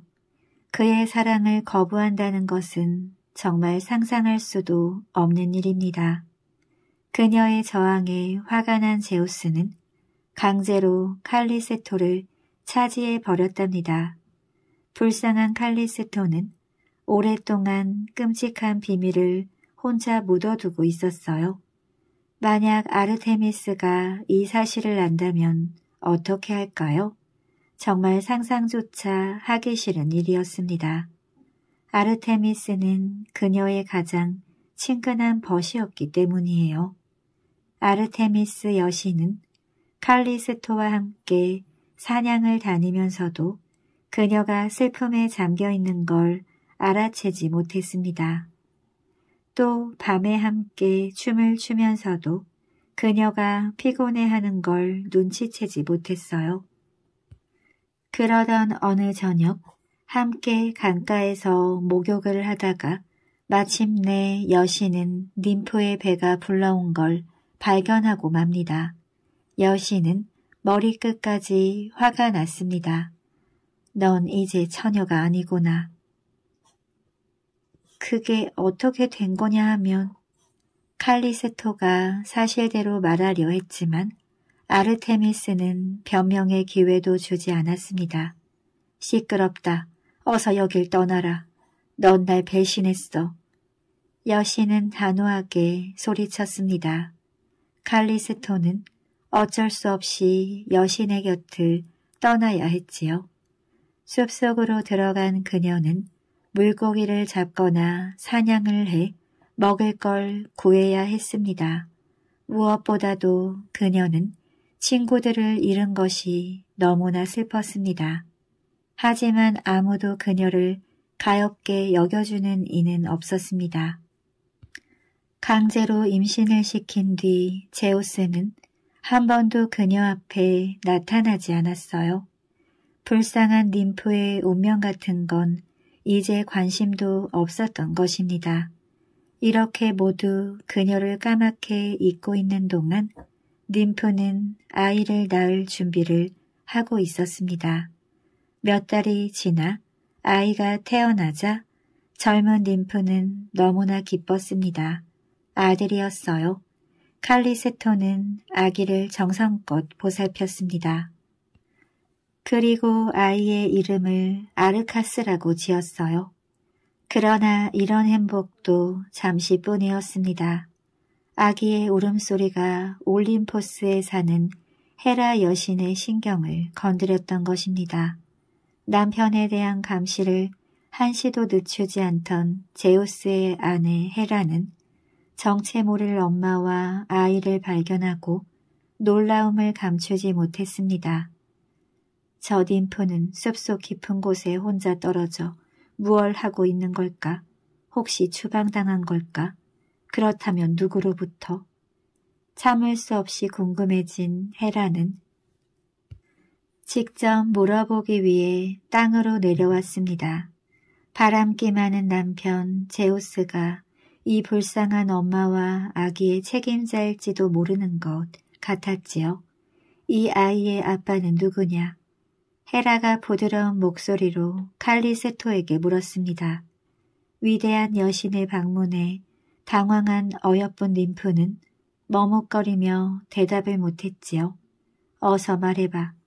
왜 말을 못하는 것이냐. 그녀가 대답하지 않자 헤라가 화를 내며 소리를 질렀습니다. 아이를 두 팔로 꽉 껴안은 칼리스토는 할 수 없이 눈물을 흘리며 지난 얘기들을 모두 고백했어요. 자신은 정말 원하지 않았는데 제우스가 강제로 아이를 낳게 한 것이라고요. 하지만 헤라는 칼리스토의 결백함 따윈 관심이 없었습니다. 단지 남편이 또다시 다른 여자에게 눈을 돌렸다는 게 참을 수 없었지요. 화가 치민 헤라는 칼리스토를 순식간에 곰으로 만들어 버렸습니다. 뿐만 아니라 그녀가 제일 사랑하는 아들 아르카스까지 빼앗아가 버렸어요. 그로부터 15년 동안 가엾은 칼리스토는 숲속에서 곰으로 숨어 살아야 했습니다. 마음이나 생각은 림프였을 때와 다를 바 없었지만 아무도 그녀를 알아보지 못했습니다. 사냥꾼에게 쫓기며 외롭게 살던 그녀는 아들이 어디에 있는지조차 모르는 현실이 너무나 괴로웠어요. 그러던 어느 날 칼리스토는 오솔길 모퉁이에서 한 젊은 청년과 마주쳤습니다. 청년은 그녀를 향해 활을 겨누었어요. 잠깐 동안 칼리스토는 참 잘생긴 청년이구나 하고 생각했습니다. 그런데 처음 보는 청년이 낯설지 않았습니다. 그러고 보니 청년의 눈이 그녀가 림프였을 때와 똑같은 데다 머리색까지 같았습니다. 아르카스, 곰은 놀라움과 사랑이 담긴 울음소리를 토해냈습니다. 청년은 바로 그녀의 아들이었던 겁니다. 순간 앞에 선 청년의 심장도 갑자기 뛰기 시작했지요. 알 수 없는 괴로움이 그의 가슴을 파고들었습니다. 앞에 있는 짐승을 죽이는 일이 어쩐지 꺼림칙했지만 그렇다고 자기가 죽을 수는 없었습니다. 팽팽하게 당겨진 활이 금방이라도 시위를 떠나려는 순간이었어요. 하늘 위에 있던 제우스의 눈에 그때서야 이 불쌍한 모자의 모습이 들어왔습니다. 둘이 이런 고통을 당할 이유가 없다는 건 누구보다도 제우스가 잘 알고 있었어요. 제우스는 잠시 호흡을 멈췄습니다. 그리고 화살이 곰의 심장을 꿰뚫기 전 두 모자를 하늘 위로 떠올려 나란히 별자리로 만들어 놓았답니다. 언제나 함께 있도록 말입니다. 이렇게 해서 엄마 곰과 아들은 하늘 위에서 영원히 함께 있게 되었습니다. 이 별들이 바로 우리 모두가 알고 있는 큰 곰 자리와 작은 곰 자리입니다. 오늘의 동화 사람이 늙는다는 것 사람은 왜 늙는가에 대해 항상 고민하는 젊은이가 있었습니다. 젊은이는 도대체 인생이란 무엇이고 행복이란 어떤 것을 말하는지 궁금해서 견딜 수가 없었지요. 그러던 중 하루는 마을을 산책하다가 얼굴에 주름살이 가득한 노인이 지나가는 것을 보고 그에게 다가갔습니다. 저 노인이라면 인생 경험이 풍부할 테니 내가 궁금해하는 것들에 대해 명쾌한 답을 해줄지도 모르겠다. 하지만 그 노인은 고개를 저으며 대답했어요. 미안하네. 나는 아직 인생을 덜 살았기 때문에 그 문제에 대해 답을 줄 수가 없네. 하지만 우리 둘째 형님이라면 나보다 오래 사셨으니 답을 해줄지도 모르지. 젊은이는 노인의 둘째 형님을 찾아갔습니다. 집 앞에 이르러 대문을 두드리니 아까 길에서 본 노인보다 젊은 노인이 나오는 게 아닌가요? 젊은이는 흠칫 놀라고 말았습니다. 여기 주인 어른을 뵙고자 찾아왔습니다. 지금 집에 계신가요? 내가 이 집 주인이오만. 예? 아니 어떻게 형님분이 더 젊으신가요? 노인은 그저 웃기만 할 뿐 대답을 하지 않았습니다. 어쨌든 이 노인이 둘째 형님이라는 사실을 확인하고 나자 젊은이는 궁금한 것을 물어보았지요. 그러자 노인이 대답했습니다. 나도 아직 인생을 덜 살았기 때문에 뭐라고 해줄 말이 없구먼. 나보다는 우리 큰형님을 한번 만나보게. 아마 그분이라면 대답을 주실 수 있을 거야. 그래서 젊은이는 다시 큰형님이라는 노인의 집으로 찾아갔습니다. 그런데 더욱 놀라운 사실은 그 큰형님이라는 노인이 두 동생들보다 훨씬 젊다는 것이었어요. 내가 귀신에 홀렸나? 어떻게 나이가 많을수록 더 젊을 수가 있지? 젊은이는 이상하게 여겨 노인에게 물었습니다. 참 이상하군요. 저는 방금 두 아우님들을 만나고 오는 길인데 어찌해서 형님이라는 분들이 더 젊을 수가 있지요? 그러자 노인이 껄껄 웃으며 말했습니다. 그 이유를 설명하자면 아주 복잡하다네. 그래도 왜 그런지 몹시 궁금하니 들려주시지요. 이야기를 하자면 길어질 테니 내가 행동으로 보여줌세. 노인은 젊은이에게 안으로 들어오라 일렀습니다. 그리고 자신의 아내에게 큰 소리로 말했지요. 여보, 우리 집에 손님이 찾아오셨소. 잘 익은 수박 한 통만 내오시오. 그러자 큰 형님의 아내는 잘 익은 수박 한 덩이를 들고 나와 탁자 위에 공손히 올려놓았습니다.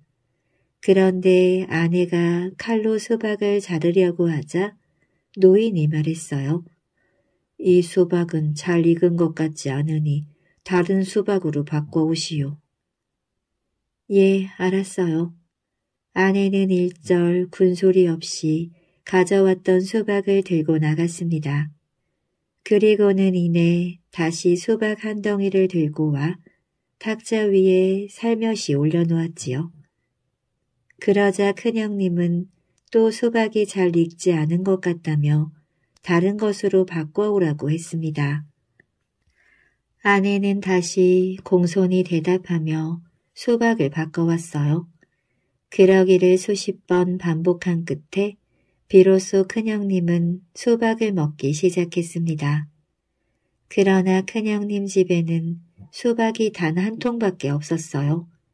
즉 큰형님의 아내는 수박 한 통을 가지고 부엌과 거실 사이를 들락날락 했던 것입니다.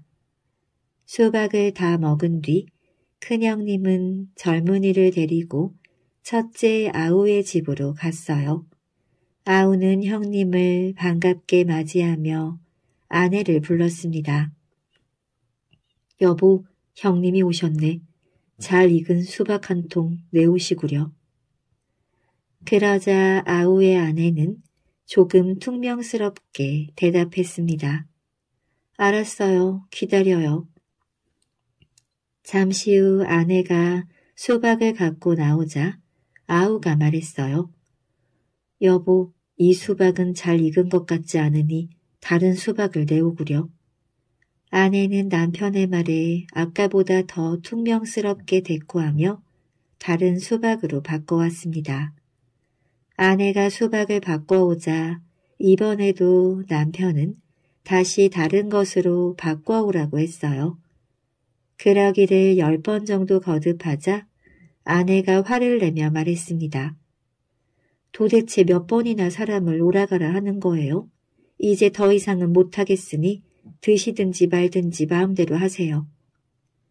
젊은이가 부엌으로 가보니 그곳에는 모두 열 통의 수박이 있었습니다. 큰형님은 다시 젊은이를 데리고 둘째 아우의 집으로 갔습니다. 젊은이가 처음 길에서 만난 그 노인의 집이었지요. 둘째 아우 역시 큰형님을 반갑게 맞이했어요.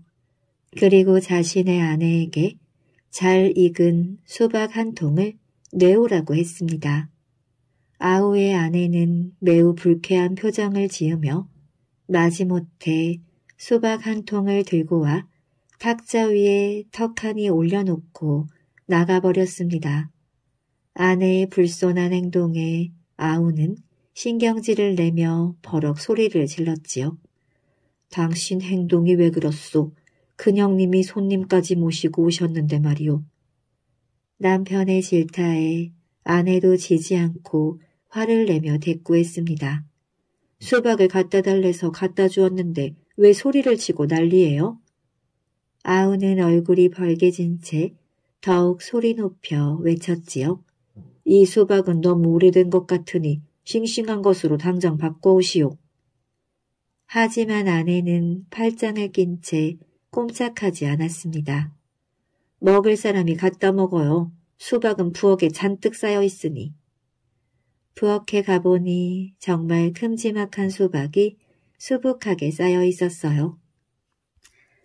막내가 세 형제 중 가장 부자였기 때문에 먹을 것은 두 형들보다 풍족했던 것입니다.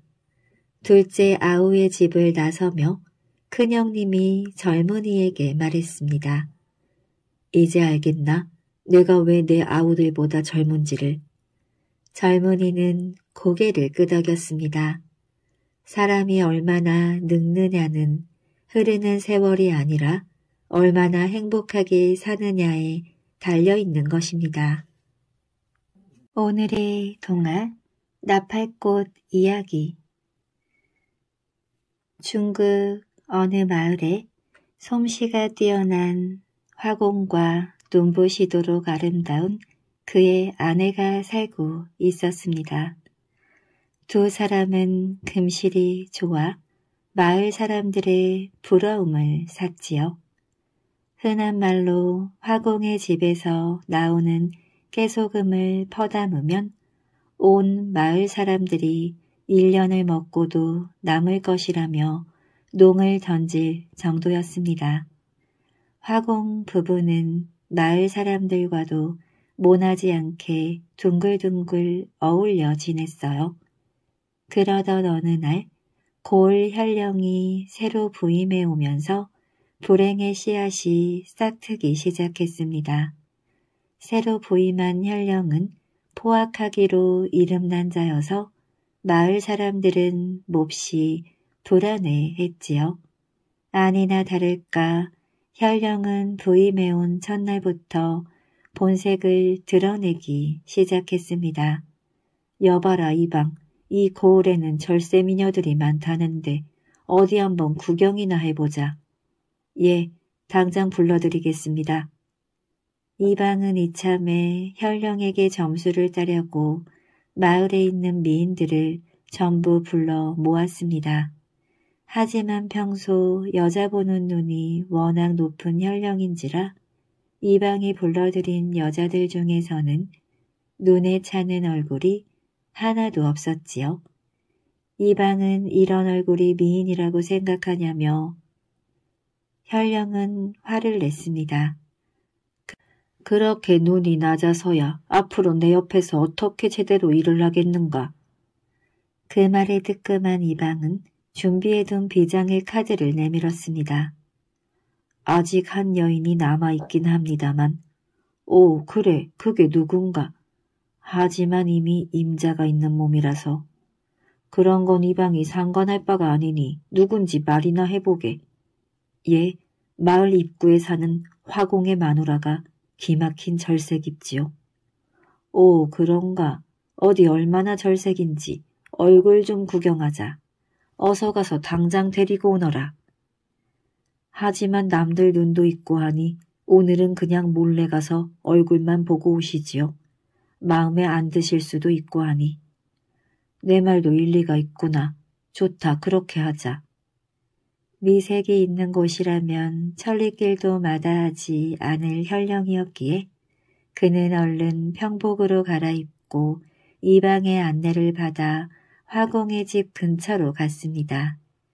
때마침 화공의 아내는 물을 깃기 위해 대문을 나서는 중이었어요. 아니, 저리도 아름다울 수가. 혈령은 그녀에게 한눈에 반해버렸습니다. 과연 절세기로다. 어떻습니까? 마음에 드시는지요? 마음에 들고 말고 저 여인은 분명 하늘에서 내려온 선녀일 게야. 화공의 아내가 저만치 사라질 때까지도 혈령은 자리를 떠나지 못한 채 넋을 잃고 그녀를 바라보았습니다. 관가로 돌아온 혈령은 화공의 아내가 자꾸 눈앞에 어른거려 그날 밤 잠을 이룰 수가 없었지요.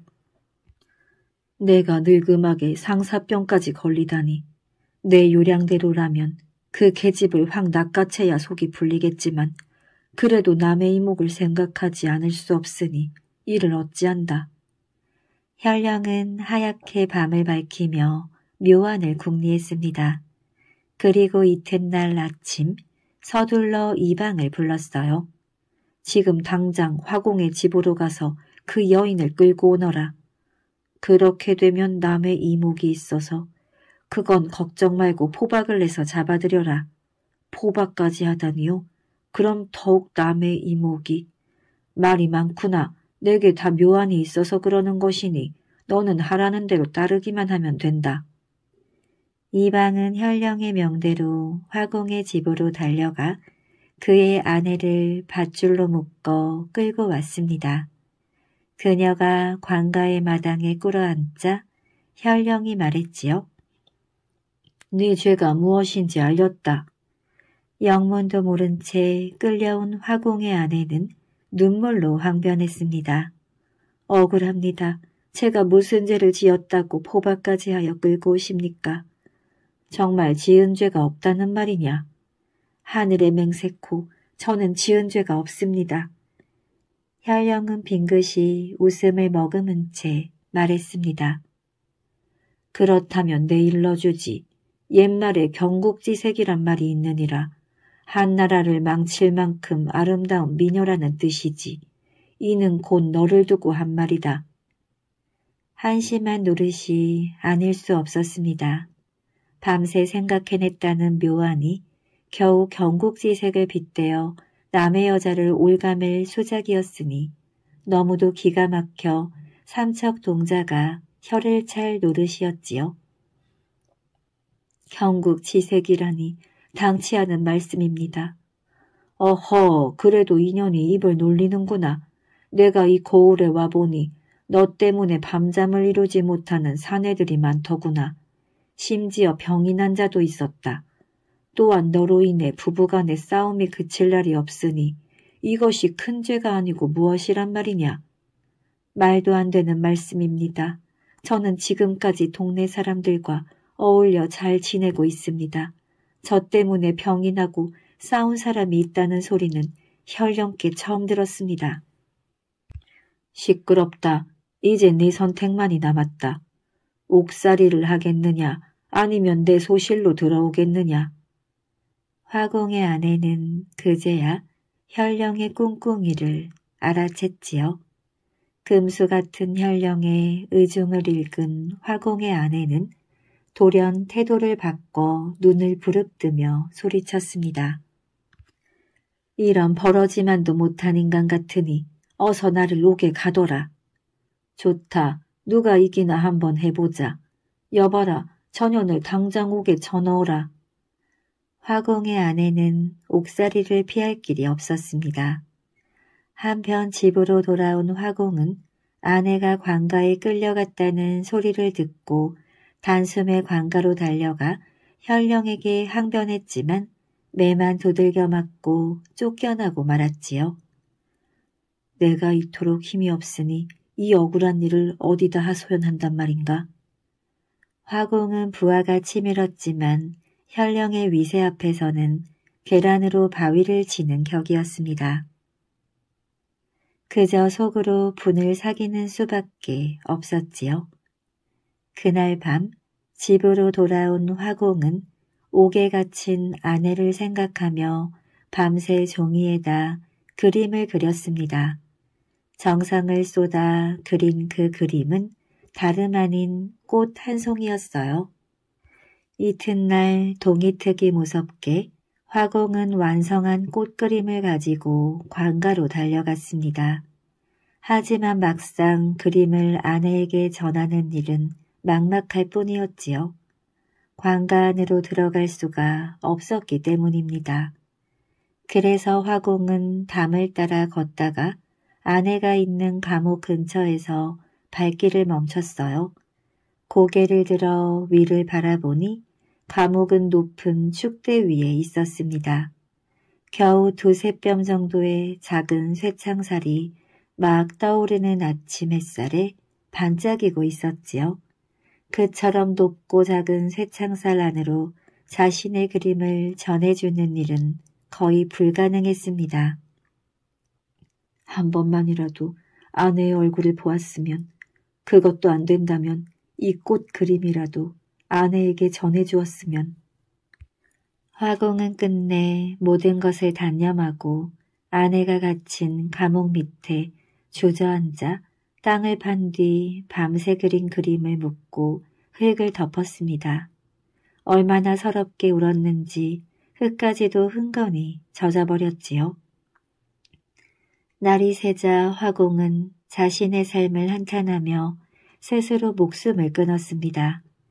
시간이 흘러 화공이 그림을 묻은 자리에서 싹 하나가 돋았는데 그 싹은 거침없이 줄기를 뻗고 단숨에 화공의 아내가 있는 감옥의 쇠창살까지 이르렀습니다. 화공의 눈물이 걸음이 되었던 것이지요. 창살 앞에 다다른 줄기는 마침내 꽃 한 송이를 피웠는데 그 꽃은 아침에 만개했다가 낮이 되면 오므라들었습니다. 꽃이 나팔 모양과 흡사해서 사람들은 그 꽃을 나팔꽃이라 불렀지요. 억울함을 참지 못해 스스로 목숨을 끊은 화공의 넋이 죽어서도 저승으로 가지 못하고 꽃이 되어 이승에 남아 아내의 얼굴이라도 보려 했다며 사람들은 화공에게 동정을 아끼지 않았답니다. 오늘의 동화 호랑이를 사랑한 남자 선덕 여왕의 뒤를 이어 신라 38대 임금의 자리에 오른 원성왕은 불교에 관심이 많았습니다. 그런 원성왕 김경신이 선덕 여왕이 재위하는 동안 상대등이라는 높은 벼슬에 올라 있을 때였어요. 어느 날 선덕 여왕이 후사도 없이 죽자 신하들은 김경신보다 태종 무열왕의 육세 손인 김주원을 왕위에 추대하였습니다. 음, 이렇게 왕위 자리를 내줘야 하는구나. 김경씨는 몹시 괴로워하며 자리에 들었지요. 그런데 그날 밤이었습니다. 간신히 잠이 든 김경 씨는 희한한 꿈을 꾸었어요. 그가 복두를 벗고 소립을 쓰더니 십이현금을 들고 천관사 우물로 들어가는 것이었습니다. 참으로 기이한 꿈이로구나. 김경 씨는 가까운 신하 여삼을 불러 꿈 해몽을 들었지요. 참으로 좋은 징조이옵니다. 김경 씨는 그 말을 듣고는 비밀리에 북천의 신에게 제사를 지냈습니다. 그 후 갑자기 큰 비가 내려 알천의 냇물이 콸콸 범람을 하고 말았습니다. 음, 이거 참 낭패로고. 그 당시 서라벌에서 북쪽으로 20리 되는 알천 건너에 김주원이 때 아닌 큰 비가 내려 냇물이 넘치자 도저히 서라벌로 건너갈 수가 없었습니다. 그 사실을 안 어느 신하가 말했지요. 임금의 자리란 본래 사람이 어떻게 할 수 있는 것이 아니다. 오늘의 포구는 하늘이 주원이 아닌 상대 등 경신을 임금으로 세우려는 뜻이 아닌가. 이에 여러 신하들의 뜻이 단숨에 하나가 되어 경신이 왕위를 계승하게 하였습니다. 이렇게 임금의 자리에 오른 원성왕은 백성들의 마음을 하나로 묶고 나라를 다스리기 위한 기틀로서 더욱더 불교를 장려하였지요. 승려에게 관직을 주었고 봉은사를 창건하였으며 망농루를 세웠습니다.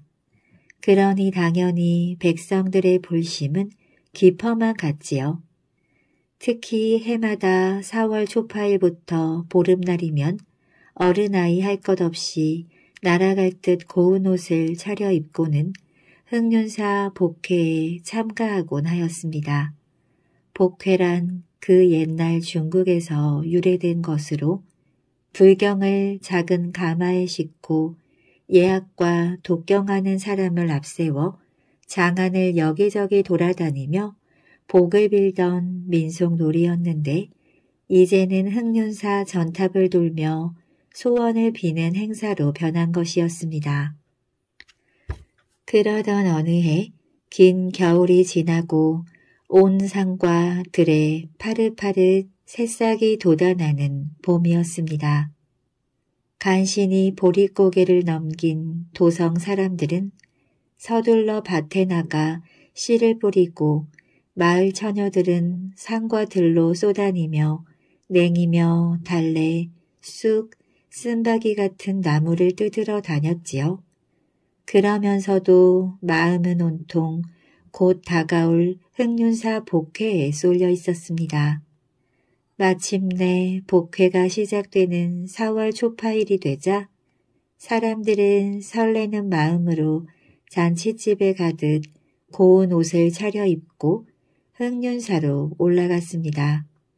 흑륜사 뜰에는 벌써 연꽃등이 주렁주렁 걸려 있었으며 은은한 향불 냄새가 절 안 가득 퍼져 있고 스님들의 독경 소리가 낭낭하게 울려왔습니다.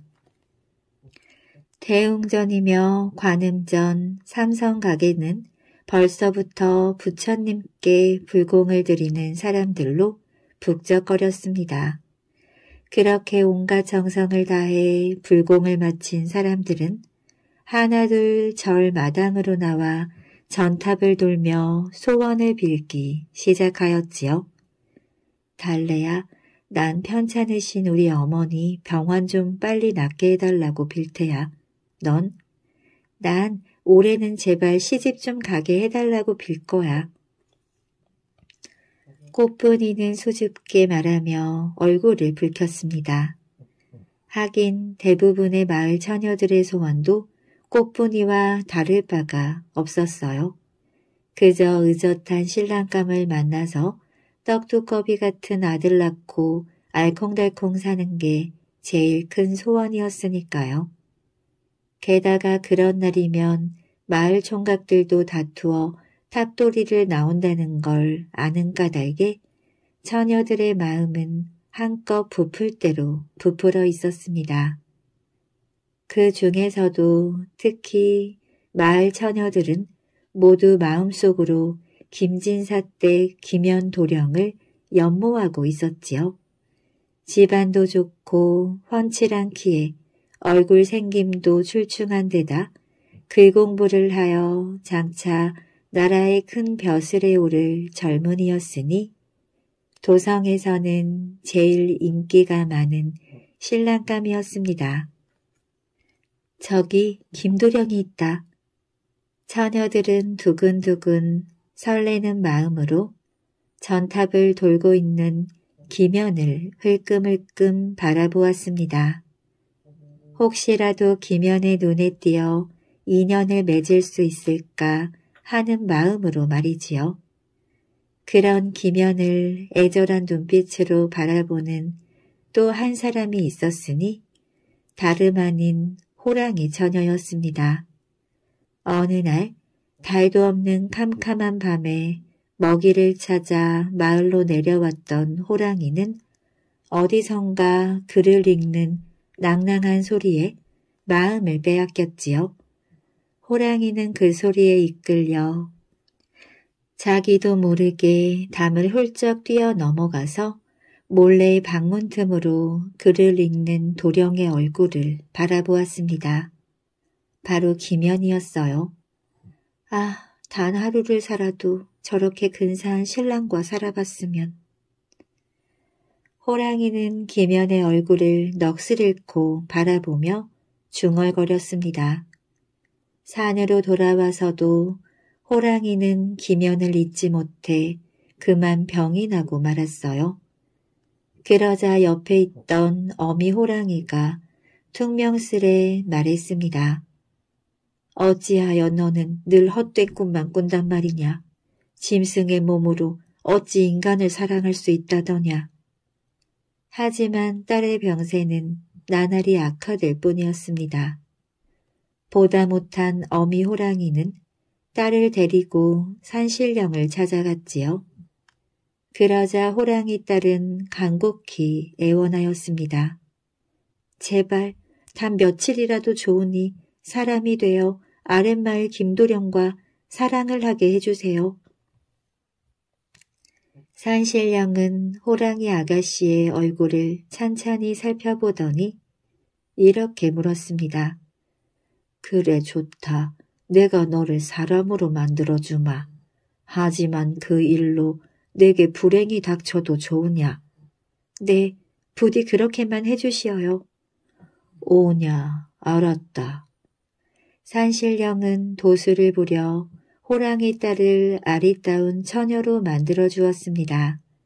사람이 된 호랑이 처녀는 뛸 듯이 기뻐하며 고운 한복을 차려입고는 기면이 탑돌이를 하는 흑륜사로 불이 나게 달려온 것입니다.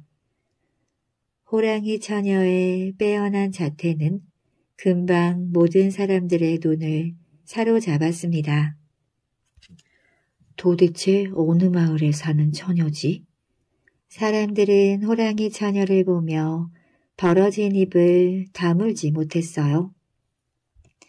하지만 호랑이 처녀는 아랑곳하지 않고 눈을 다소곳이 내리깔고는 김연의 뒤를 따라 탑돌이를 하였습니다. 하지만 호랑이 처녀는 이미 김연이 자기에게 마음을 빼앗기고 있다는 걸 알 수 있었어요. 김연은 눈이 부시게 아리따운 호랑이 처녀에게서 눈을 떼지 못하고 있었습니다. 아, 어쩜 저리도 곱단 말인가. 마치 하늘에서 내려온 선녀 같구나. 도대체 뉘집 아가씨일까? 김현은 두 손을 곱게 모은 채 다소곳이 탑돌이를 하고 있는 호랑이 처녀를 보자 첫눈에 반해버렸습니다. 저 호리호리한 몸매며 보름달처럼 환한 얼굴, 사뿐사뿐 걷는 걸음걸이까지 어디 한 군데 나무랄 데가 없구나. 김현은 떨리는 마음으로 천천히 탑을 돌기 시작하였습니다. 그렇게 하루 이틀이 지나고 어느 틈에 마지막 일회째 되는 날이었어요. 그동안 하루도 빠짐없이 탑돌이를 나온 김현은 이제나 저제나 처녀에게 말할 기회만 찾고 있었습니다. 호랑이 처녀는 그런 김연의 마음을 안다는 듯 뒤에서 가만가만 탑을 돌고 있었지요. 아, 이 처녀도 나를 마음에 두고 있구나. 김연은 마치 구름 위를 둥실둥실 걷는 기분이었습니다. 어느새 뉘엿뉘엿 해가 지자 탑돌이를 하던 사람들은 하나둘 절에서 내려갔어요. 마침내 탑돌이를 마친 김연이 호랑이 처녀에게 조심스레 다가갔습니다. 저 아가씨, 저기 풀숲에 아가씨와 꼭 닮은 꽃이 피어 있답니다. 그걸 보여드릴 테니 저와 함께 가시지요. 아, 드디어 내가 그토록 소원하던 일이 왔구나. 호랑이 처녀는 떨리는 마음으로 김연을 따라 나섰어요. 호랑이 처녀가 걸음을 옮길 때마다 사각사각 비단 치마 자락이 스치는 소리가 들려왔습니다. 그럴 때마다 김연의 마음은 쿵쾅쿵쾅 두방망이질을 하였어요. 그동안 벼슬길에 오르고자 공부만 하느라 혼인도 미루고 있던 터에 이렇게 아리따운 아가씨를 만났으니 더욱 그랬습니다. 마침내 김연은 넓은 풀숲으로 호랑이 처녀를 데리고 갔지요. 그곳은 김연이 가끔 나와 화를 쏘던 곳이었습니다. 풀숲에는 연보라와 하얀 도라지 꽃이 지천으로 피어 있었어요. 이 도라지 꽃이 아가씨를 꼭 닮았습니다. 김연은 호랑이 처녀와 도라지 꽃밭 속에 앉아 달콤한 이야기를 나누었어요. 그렇게 이야기를 나누는 사이 어느새 날은 어두워지고 하늘에는 별이 총총 떠올랐습니다. 둘은 도라지 꽃밭 속에 누워 하늘의 별을 세다가 깊은 사랑을 나누었어요. 마침내 소원을 이룬 호랑이 처녀의 가슴은 터질 듯 기쁨으로 쿵쿵거렸습니다. 오, 이제 아가씨는 내 아내가 될 사람이니 함께 집으로 가서 부모님께 인사를 드리겠소. 김연이 들뜬 소리로 말했습니다. 하지만 호랑이 처녀는 고개를 완강히 내저었어요. 제발 혼자 가게 해주세요. 그건 당치 않은 말이오. 김현은 막무가내로 호랑이 처녀 뒤를 성큼성큼 따라 나섰습니다. 호랑이 처녀는 어두운 산길을 걷고 걸어 멀리 깊은 산 속에 한 오두막집으로 들어갔어요. 이제나 저제나 딸을 기다리던 어미 호랑이가 문틈으로 도령을 내다보며 물었습니다. 얘야, 바로 저 총각이란 말이냐? 네, 어머니. 호랑이 처녀는 조금 전에 있었던 일을 이야기하였습니다. 얘야, 하늘의 뜻에 따라 너희 둘이 연분을 맺은 건 좋은 일이다만 이제 곤대 오라비들이 오면 가만 안 있을 터인데 이걸 어쩌면 좋단 말이냐. 어미 호랑이는 한숨을 푹푹 내쉬었습니다. 이제 어쩔 수 없으니 어서 저 헛간에다 도령을 숨겨주겠어요. 호랑이 처녀는 다짜고짜 기면을 마당 옆 헛간 깊숙한 곳에 숨겨주었습니다. 도대체 무슨 일이람? 김연은 영문을 모른 채 엉거주춤 헛간에 쭈그려 앉아 있었지요.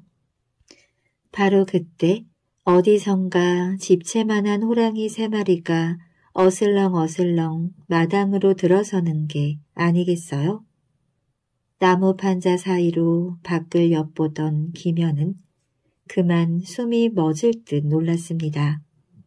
그때 제일 큰 호랑이가 입맛을 쩝쩝 다시며 집안을 두리번 두리번 거렸어요. 어디서 사람 냄새가 나는걸? 그렇잖아도 배가 고프던 참에 잘 됐군. 그 호랑이들은 다름 아닌 처녀의 오빠들이었습니다. 그러자 호랑이 처녀는 다급하게 외쳤어요.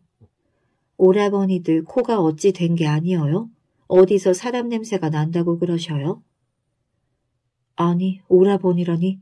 그렇다면 저 처녀가 호, 랑이였단 말인가? 김현은 기절 초풍할 듯 놀라 어찌할 바를 몰랐습니다. 하지만 이미 사람 냄새를 맡은 호랑이 삼형제는 아랑곳 않고 집안 여기저기를 기웃거렸어요.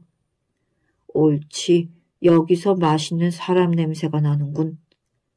호랑이들은 어슬렁거리며 헛간 쪽으로 다가갔습니다. 이제 나는 죽었구나. 김현은 벌벌 떨며 눈을 질끈 감았습니다. 그런데 첫째 호랑이가 막 헛간문을 열려고 할 때였어요. 갑자기 하늘에서 우레 같은 고함 소리가 들려왔지요. 고얀 놈들, 너희들은 이미 무고한 사람들을 많이 잡아먹었느니라. 내 더 이상 너희들의 잘못을 두고 볼 수가 없으니 당장 너희들을 죽여 벌을 내리겠노라. 하느님, 제발 살려주세요. 호랑이들은 마당에 넙죽 엎드려서는 하늘을 향해 애걸복걸 하였습니다. 보다 못한 호랑이 처녀가 안타깝게 외쳤어요. 하느님, 부디 오빠들을 살려주시고 그 대신 저를 벌해주세요. 오빠들을 위하는 내 마음이 참으로 갸륵하도다. 좋다. 내 뜻이 정 그렇다면 그리하겠노라. 그 대신 너희 호랑이 삼형제는 이제부터 깊고 깊은 산속으로 들어가 살도록 하여라. 고맙습니다. 정말 고맙습니다. 호랑이 삼형제는 굽신굽신 절을 하고는 깊은 산속으로 주랭랑을 치고 말았습니다. 그러자 호랑이 처녀는 반쯤 넋이 나간 채 헛간에 숨어있던 기면을 찾아가 눈물을 뚝뚝 흘리며 말했습니다. 서방님, 아까 저를 따라오지 못하게 한 까닭을 이제 아시겠지요? 저는 사실 호랑이랍니다. 어느 날 우연히 서방님의 모습을 보고는 연모하는 마음을 참을 수 없어 이렇게 사람의 모습으로 둔갑하여 서방님을 만난 것이지요. 그러니 부디 저를 용서하세요. 비록 제가 사람은 아니지만 서방님과 맺은 소중한 인연을 고이 간직하겠습니다. 하늘도 무심하시지 내게 어찌 이런 시련을 주신단 말인가. 기면은 눈시울을 붉히며 부르짖었습니다. 그러자 호랑이 처녀는 눈물이 그렁그렁한 눈으로 간절히 말했어요. 서방님, 이제 저는 어차피 죽을 목숨이 옵니다. 하오나 모르는 사람의 손에 죽느니 차라리 서방님의 손에 죽어 저를 사랑해준 그 은혜에 보답하고자 합니다. 아니 그게 무슨 당치 않은 말이오? 김현은 뜰 듯이 펄쩍 놀라 외쳤습니다. 서방님, 제 말을 잘 들어보시어요. 내일 제가 도성에 나타나 마구 행패를 부리면 임금님은 반드시 저를 잡는 자에게 큰 벼슬을 내리겠다는 명을 내리실 것입니다. 그때 서방님은 두려워하지 말고 저희가 사랑을 나눴던 풀숲으로 저를 쫓아오세요. 그러면 제가 거기서 서방님을 기다리고 있겠습니다. 그건 안 될 말이오. 사람과 짐승이 인연을 맺은 것은 있을 수 없는 일이나 내게는 참으로 소중한 인연이었소. 그런데 어찌 아내를 팔아서 벼슬에 오른단 말이오. 나는 실소이다. 김현은 얼토당토 않다는 듯 고개를 내저었어요. 하지만 서방님, 저는 어차피 죽을 목숨이 옵니다. 게다가 저에게 죽을 만한 이유가 다섯 가지나 있답니다.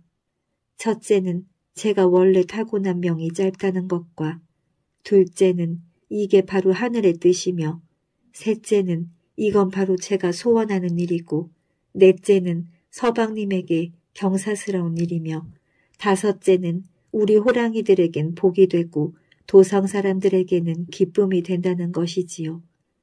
그러니 어찌 이 일을 마다하시옵니까? 호랑이 처녀는 간절하게 애원하였습니다. 어찌 이런 일이 있단 말인가? 김현은 마침내 호랑이 처녀를 얼싸안고 뜨거운 눈물을 흘렸어요. 다음 날 날이 밝자 도성은 온통 아수라장이 되었습니다. 집채만한 호랑이 한 마리가 나타나서 도성을 휘젓고 다니며 야단이었지요. 그 호랑이는 닥치는 대로 가축을 물어 죽이고 사람들을 덥석덥석 물었습니다. 이러다가 사람들 다 죽겠구나. 사람들은 혼비백산하여 어쩔 줄을 몰랐어요. 그 중에 어떤 사람들은 피난짐을 싸들고 어디론가 도망을 가느라 난리 법석이었습니다. 하지만 군졸들이 창과 칼을 들고 아무리 잡으려 해도 호랑이는 좀처럼 잡히지를 않았어요.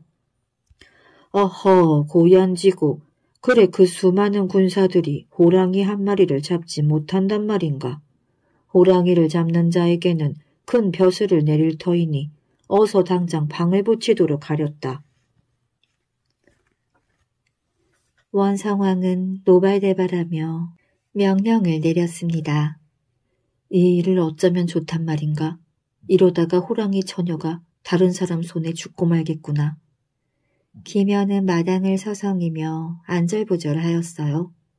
그러다가 문득 호랑이 처녀가 안타깝게 외치던 걸 떠올렸습니다. 서방님, 어차피 저는 죽을 목숨이오니 부디 서방님 손에 죽게 해주세요.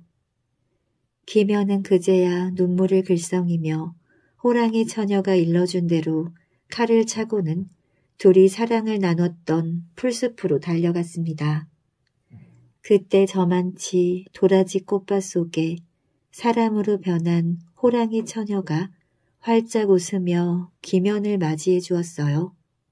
서방님 어서 오시어요. 부디 어젯밤 저와 나눈 사랑을 잊지 마시어요. 내 어찌 그대와 나눈 인연을 잊으리요. 김연은 호랑이 처녀를 덥석 끌어안았고 울부짖었습니다. 서방님, 제 말을 잘 들으시어요. 오늘 저에게 물린 사람들은 흑륜사의 간장을 바르고 북소리를 들으면 그 상처는 씻은 듯이 나을 것입니다. 그러니 어서 저를 찌르시어요. 호랑이 처녀는 애끓는 목소리로 애원하였어요. 하지만 김현은 차마 호랑이 처녀를 죽일 수가 없었습니다. 못하오. 나는 도저히 못하겠소.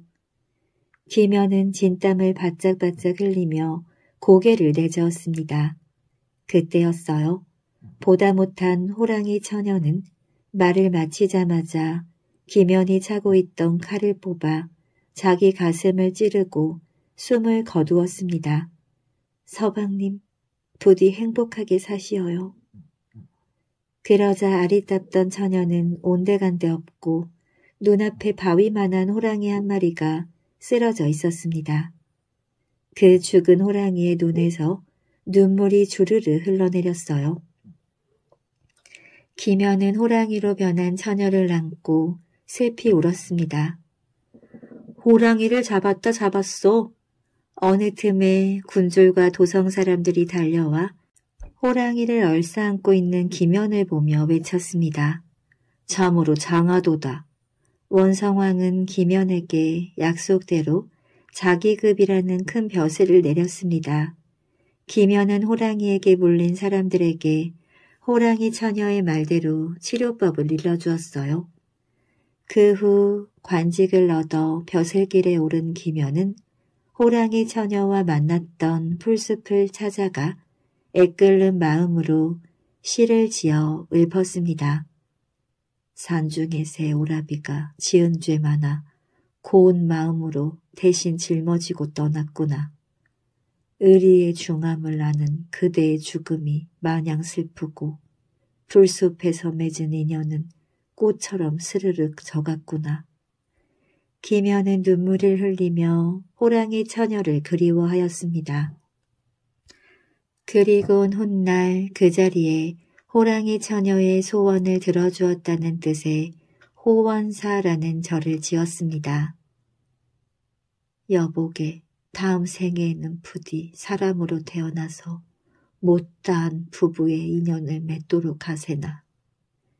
기면은 그 후 틈이 날 때마다 호원사에 들러 법망경을 읽으며 호랑이 처녀의 넋을 위로하였습니다.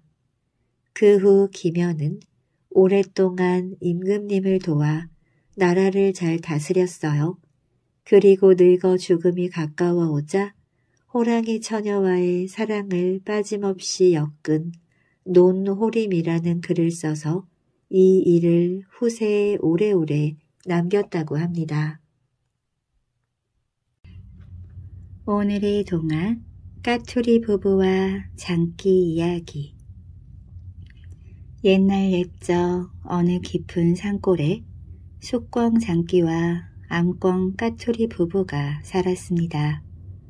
어느 추운 겨울날 온 산에 하얗게 눈이 덮여 있는데 장기와 까투리는 아홉 아들 열두 딸을 데리고 먹을 것을 찾아 나섰습니다. 산 꼭대기에는 보라매와 모리꾼이 설쳐되고 산 골짜기에는 사냥꾼들이 개를 데리고 숨어 있으니 갈대라고는 산속의 좁은 길뿐이었지요. 장기와 까투리는 둘이서 좁은 길로 나가 이리 기웃 저리 기웃 먹을 것을 찾았어요. 마침 눈앞에 붉은 콩 한 알이 덩그러니 놓여 있었지요. 그걸 보고 장기가 입맛을 쩍쩍 다시며 다가갔습니다. 그 콩 참 탐스럽기도 하네. 보기만 해도 군침이 도는군. 하지만 까투리가 장기를 말렸습니다. 잠깐만 기다려요. 그 콩은 아무래도 수상해. 흙을 입으로 훌훌 불고 비로 싹싹 쓸어놓은 걸 보니 아무래도 사람이 놓은 미끼 같소. 장기는 코웃음을 치며 까투리에게 핀잔을 줬어요. 흥, 말도 안 되는 소리. 눈이 이렇게 많이 쌓여 있는데 어떤 사람이 산속까지 와서 미끼를 던져 놓는단 말이오. 까투리도 지지 않고 대꾸했습니다. 제발 조심해요. 지난밤에 꿈을 꾸었는데 당신이 콩을 주워 먹다가 덫에 치여 죽더이다. 제발 그 콩 먹지 마세요. 장기도 지지 않고 고집을 부렸습니다. 괜한 걱정을 하는구려.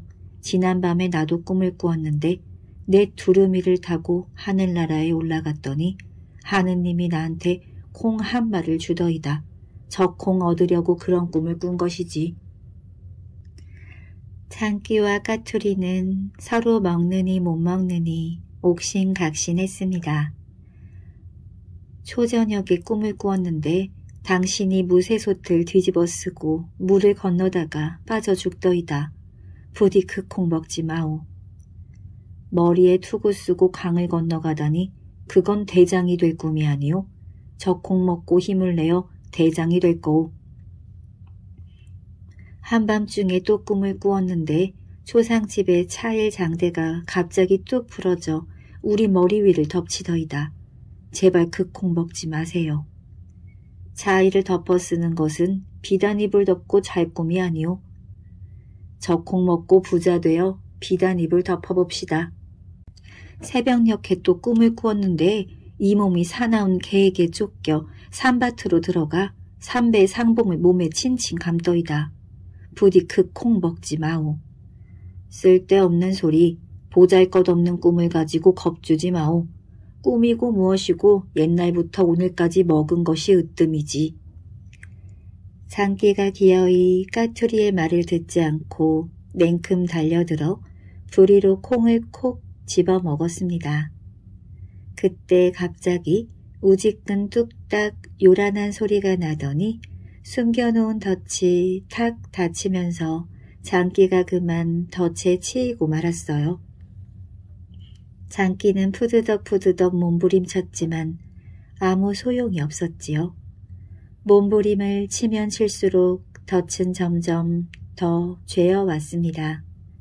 까투리와 아홉 아들 열두 딸은 발을 동동 구르며 울어댔지요. 진작 내 말을 들었으면 이 지경이 되지는 않았을 것을 부득부득 고집 부리다가 이 꼴이 됐으니 이를 어찌하나 장기는 숨을 헐떡이며 두 눈을 겨우 뜨고 까투리에게 말했습니다. 여보 까투리, 나는 이제 죽나보. 내가 죽거든 절대로 다시 혼이 날 생각일랑 말고 아홉 아들 열두 딸을 잘 키워주오. 이 말을 마치자마자 장기는 그만 죽고 말았습니다.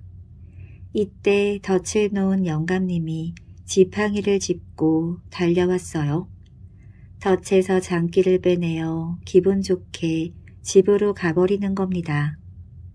까투리는 하는 수 없이 영감님이 떨어뜨리고 간 장기 깃털을 하나 주워가지고 장례를 치르기로 했습니다.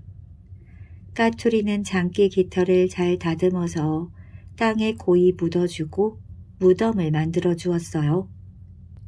이 소문을 듣고 온갖 날짐승들이 몰려들었습니다. 두루미, 제비, 앵무새, 따오기, 방울새, 외가리, 황새, 뱁새, 솔개, 박새, 참새, 딱따구리, 까마귀, 부엉이, 기러기, 물오리 모두들 앞을 다투어 몰려와 장례를 함께 치렀지요. 가랑잎에 이슬 받아 도토리 껍질을 술잔 삼아 담아놓고 지고자 열매밥을 삼아 넓적돌 소반에 올려놓고 갈대로 젓가락 삼아 얼기설기 제사상을 차려놓고 모두들 흐느껴 울면서 절을 했습니다. 그럭저럭 장례를 다 치르고 나자 까마귀가 나서서 은근히 까투리를 꿰는 거예요. 여보시오 까투리님 나로 말할 것 같으면 북쪽 끝에서 남쪽 끝까지 못 가는 데가 없고 세상에 있는 것 가운데 모르는 것이 없다오. 이만하면 일등 신랑감이 아니오? 나와 혼이 나는 게 어떻소?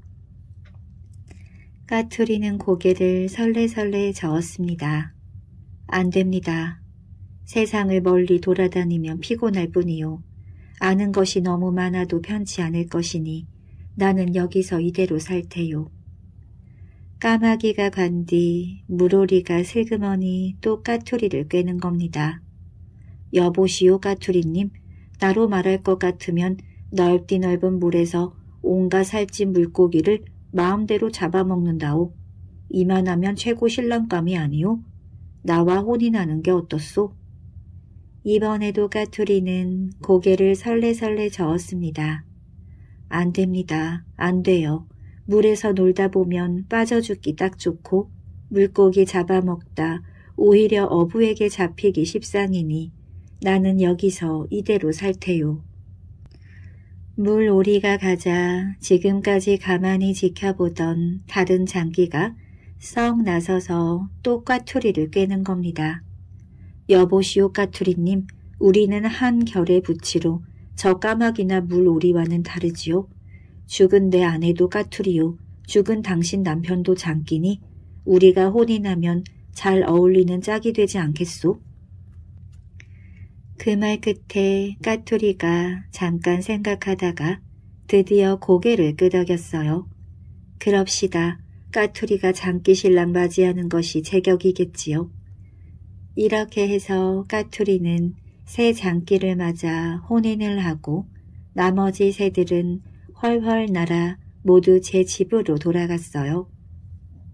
까마귀는 까옥, 오리는 꽥꽥, 부엉이는 부엉, 기러기는 기럭, 따오기는 따옥, 방울새는 딸랑, 외가리는 웩웩, 제비는 지지배배, 모두 모두 훨훨 날아 제 집으로 돌아갔지요. 까투리와 장기는 새 살림을 차리고 재미나게 살았습니다. 아홉 아들 열두 딸을 시집장가 다 보내고 경치 좋은 곳으로 놀러 다니면서 깨가 쏟아지게 잘 살았답니다. 아프리카의 어느 지방에서는 원숭이를 사냥하는 법이 매우 특이하다고 합니다. 우선 원숭이가 자주 다니는 길목에 항아리 하나를 놓습니다. 그 항아리 입구는 원숭이의 손이 겨우 들어갈 정도이지요. 항아리 안에는 바나나 같은 길쭉한 과일이나 항아리 입구에 꼭 맞을 만한 과일을 넣어둡니다. 원숭이는 길을 가다가 항아리를 발견하면 천천히 그리로 다가간대요. 그리고는 항아리 안에 들어있는 과일을 보고 천천히 항아리 입구로 손을 넣어 과일을 움켜쥡니다.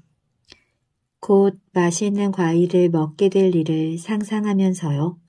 하지만 원숭이는 자신의 달콤한 상상과는 달리 결국 그 과일을 먹을 수 없게 됩니다. 항아리에 손을 넣을 때는 쉽지만 빼낼 때는 쉽지가 않기 때문입니다. 움켜쥔 과일을 놓으면 손을 뺄 수 있을 텐데 원숭이는 달콤한 과일에 대한 미련을 끝까지 버리지 않는다고 합니다. 결국 덫을 놓은 사람에게 산채로 잡혀갈 때까지도 원숭이는 손에 움켜쥔 과일을 절대 놓지 않는다는 것입니다. 다행히 사람은 원숭이와 달리 이성을 가지고 있어서 어느 정도 욕심을 다스릴 줄 알지요. 프로이드식으로 말한다면 자아로서 이들을 다스릴 줄 안다고 할 수 있겠습니다. 어쨌든 지나친 욕심은 언제나 화를 부르기 마련이랍니다. 이야기 재미있게 잘 들으셨나요? 앞에서 들려드린 큰 곰자리, 작은 곰자리 이야기는 옛날 사람들이 상상으로 만들어낸 별자리 이야기입니다. 옛날 사람들은 밤하늘을 보며 끝없는 상상력으로 이야기를 만들어내곤 했습니다. 독수리 자리, 곰자리, 돌고래 자리 등등 별자리에 얽힌 많은 사연들이 있답니다. 별자리의 주인공들은 무서운 괴물과 싸움을 벌이기도 하고 신의 저주를 받아 고난을 겪기도 하며 슬픈 운명 때문에 사랑하는 가족과 헤어져 세상을 떠돌기도 한답니다. 자연과 하나가 되는 별자리 이야기와 함께 오늘도 좋은 꿈 꾸시고 편안한 잠자리 되시기를 바랍니다.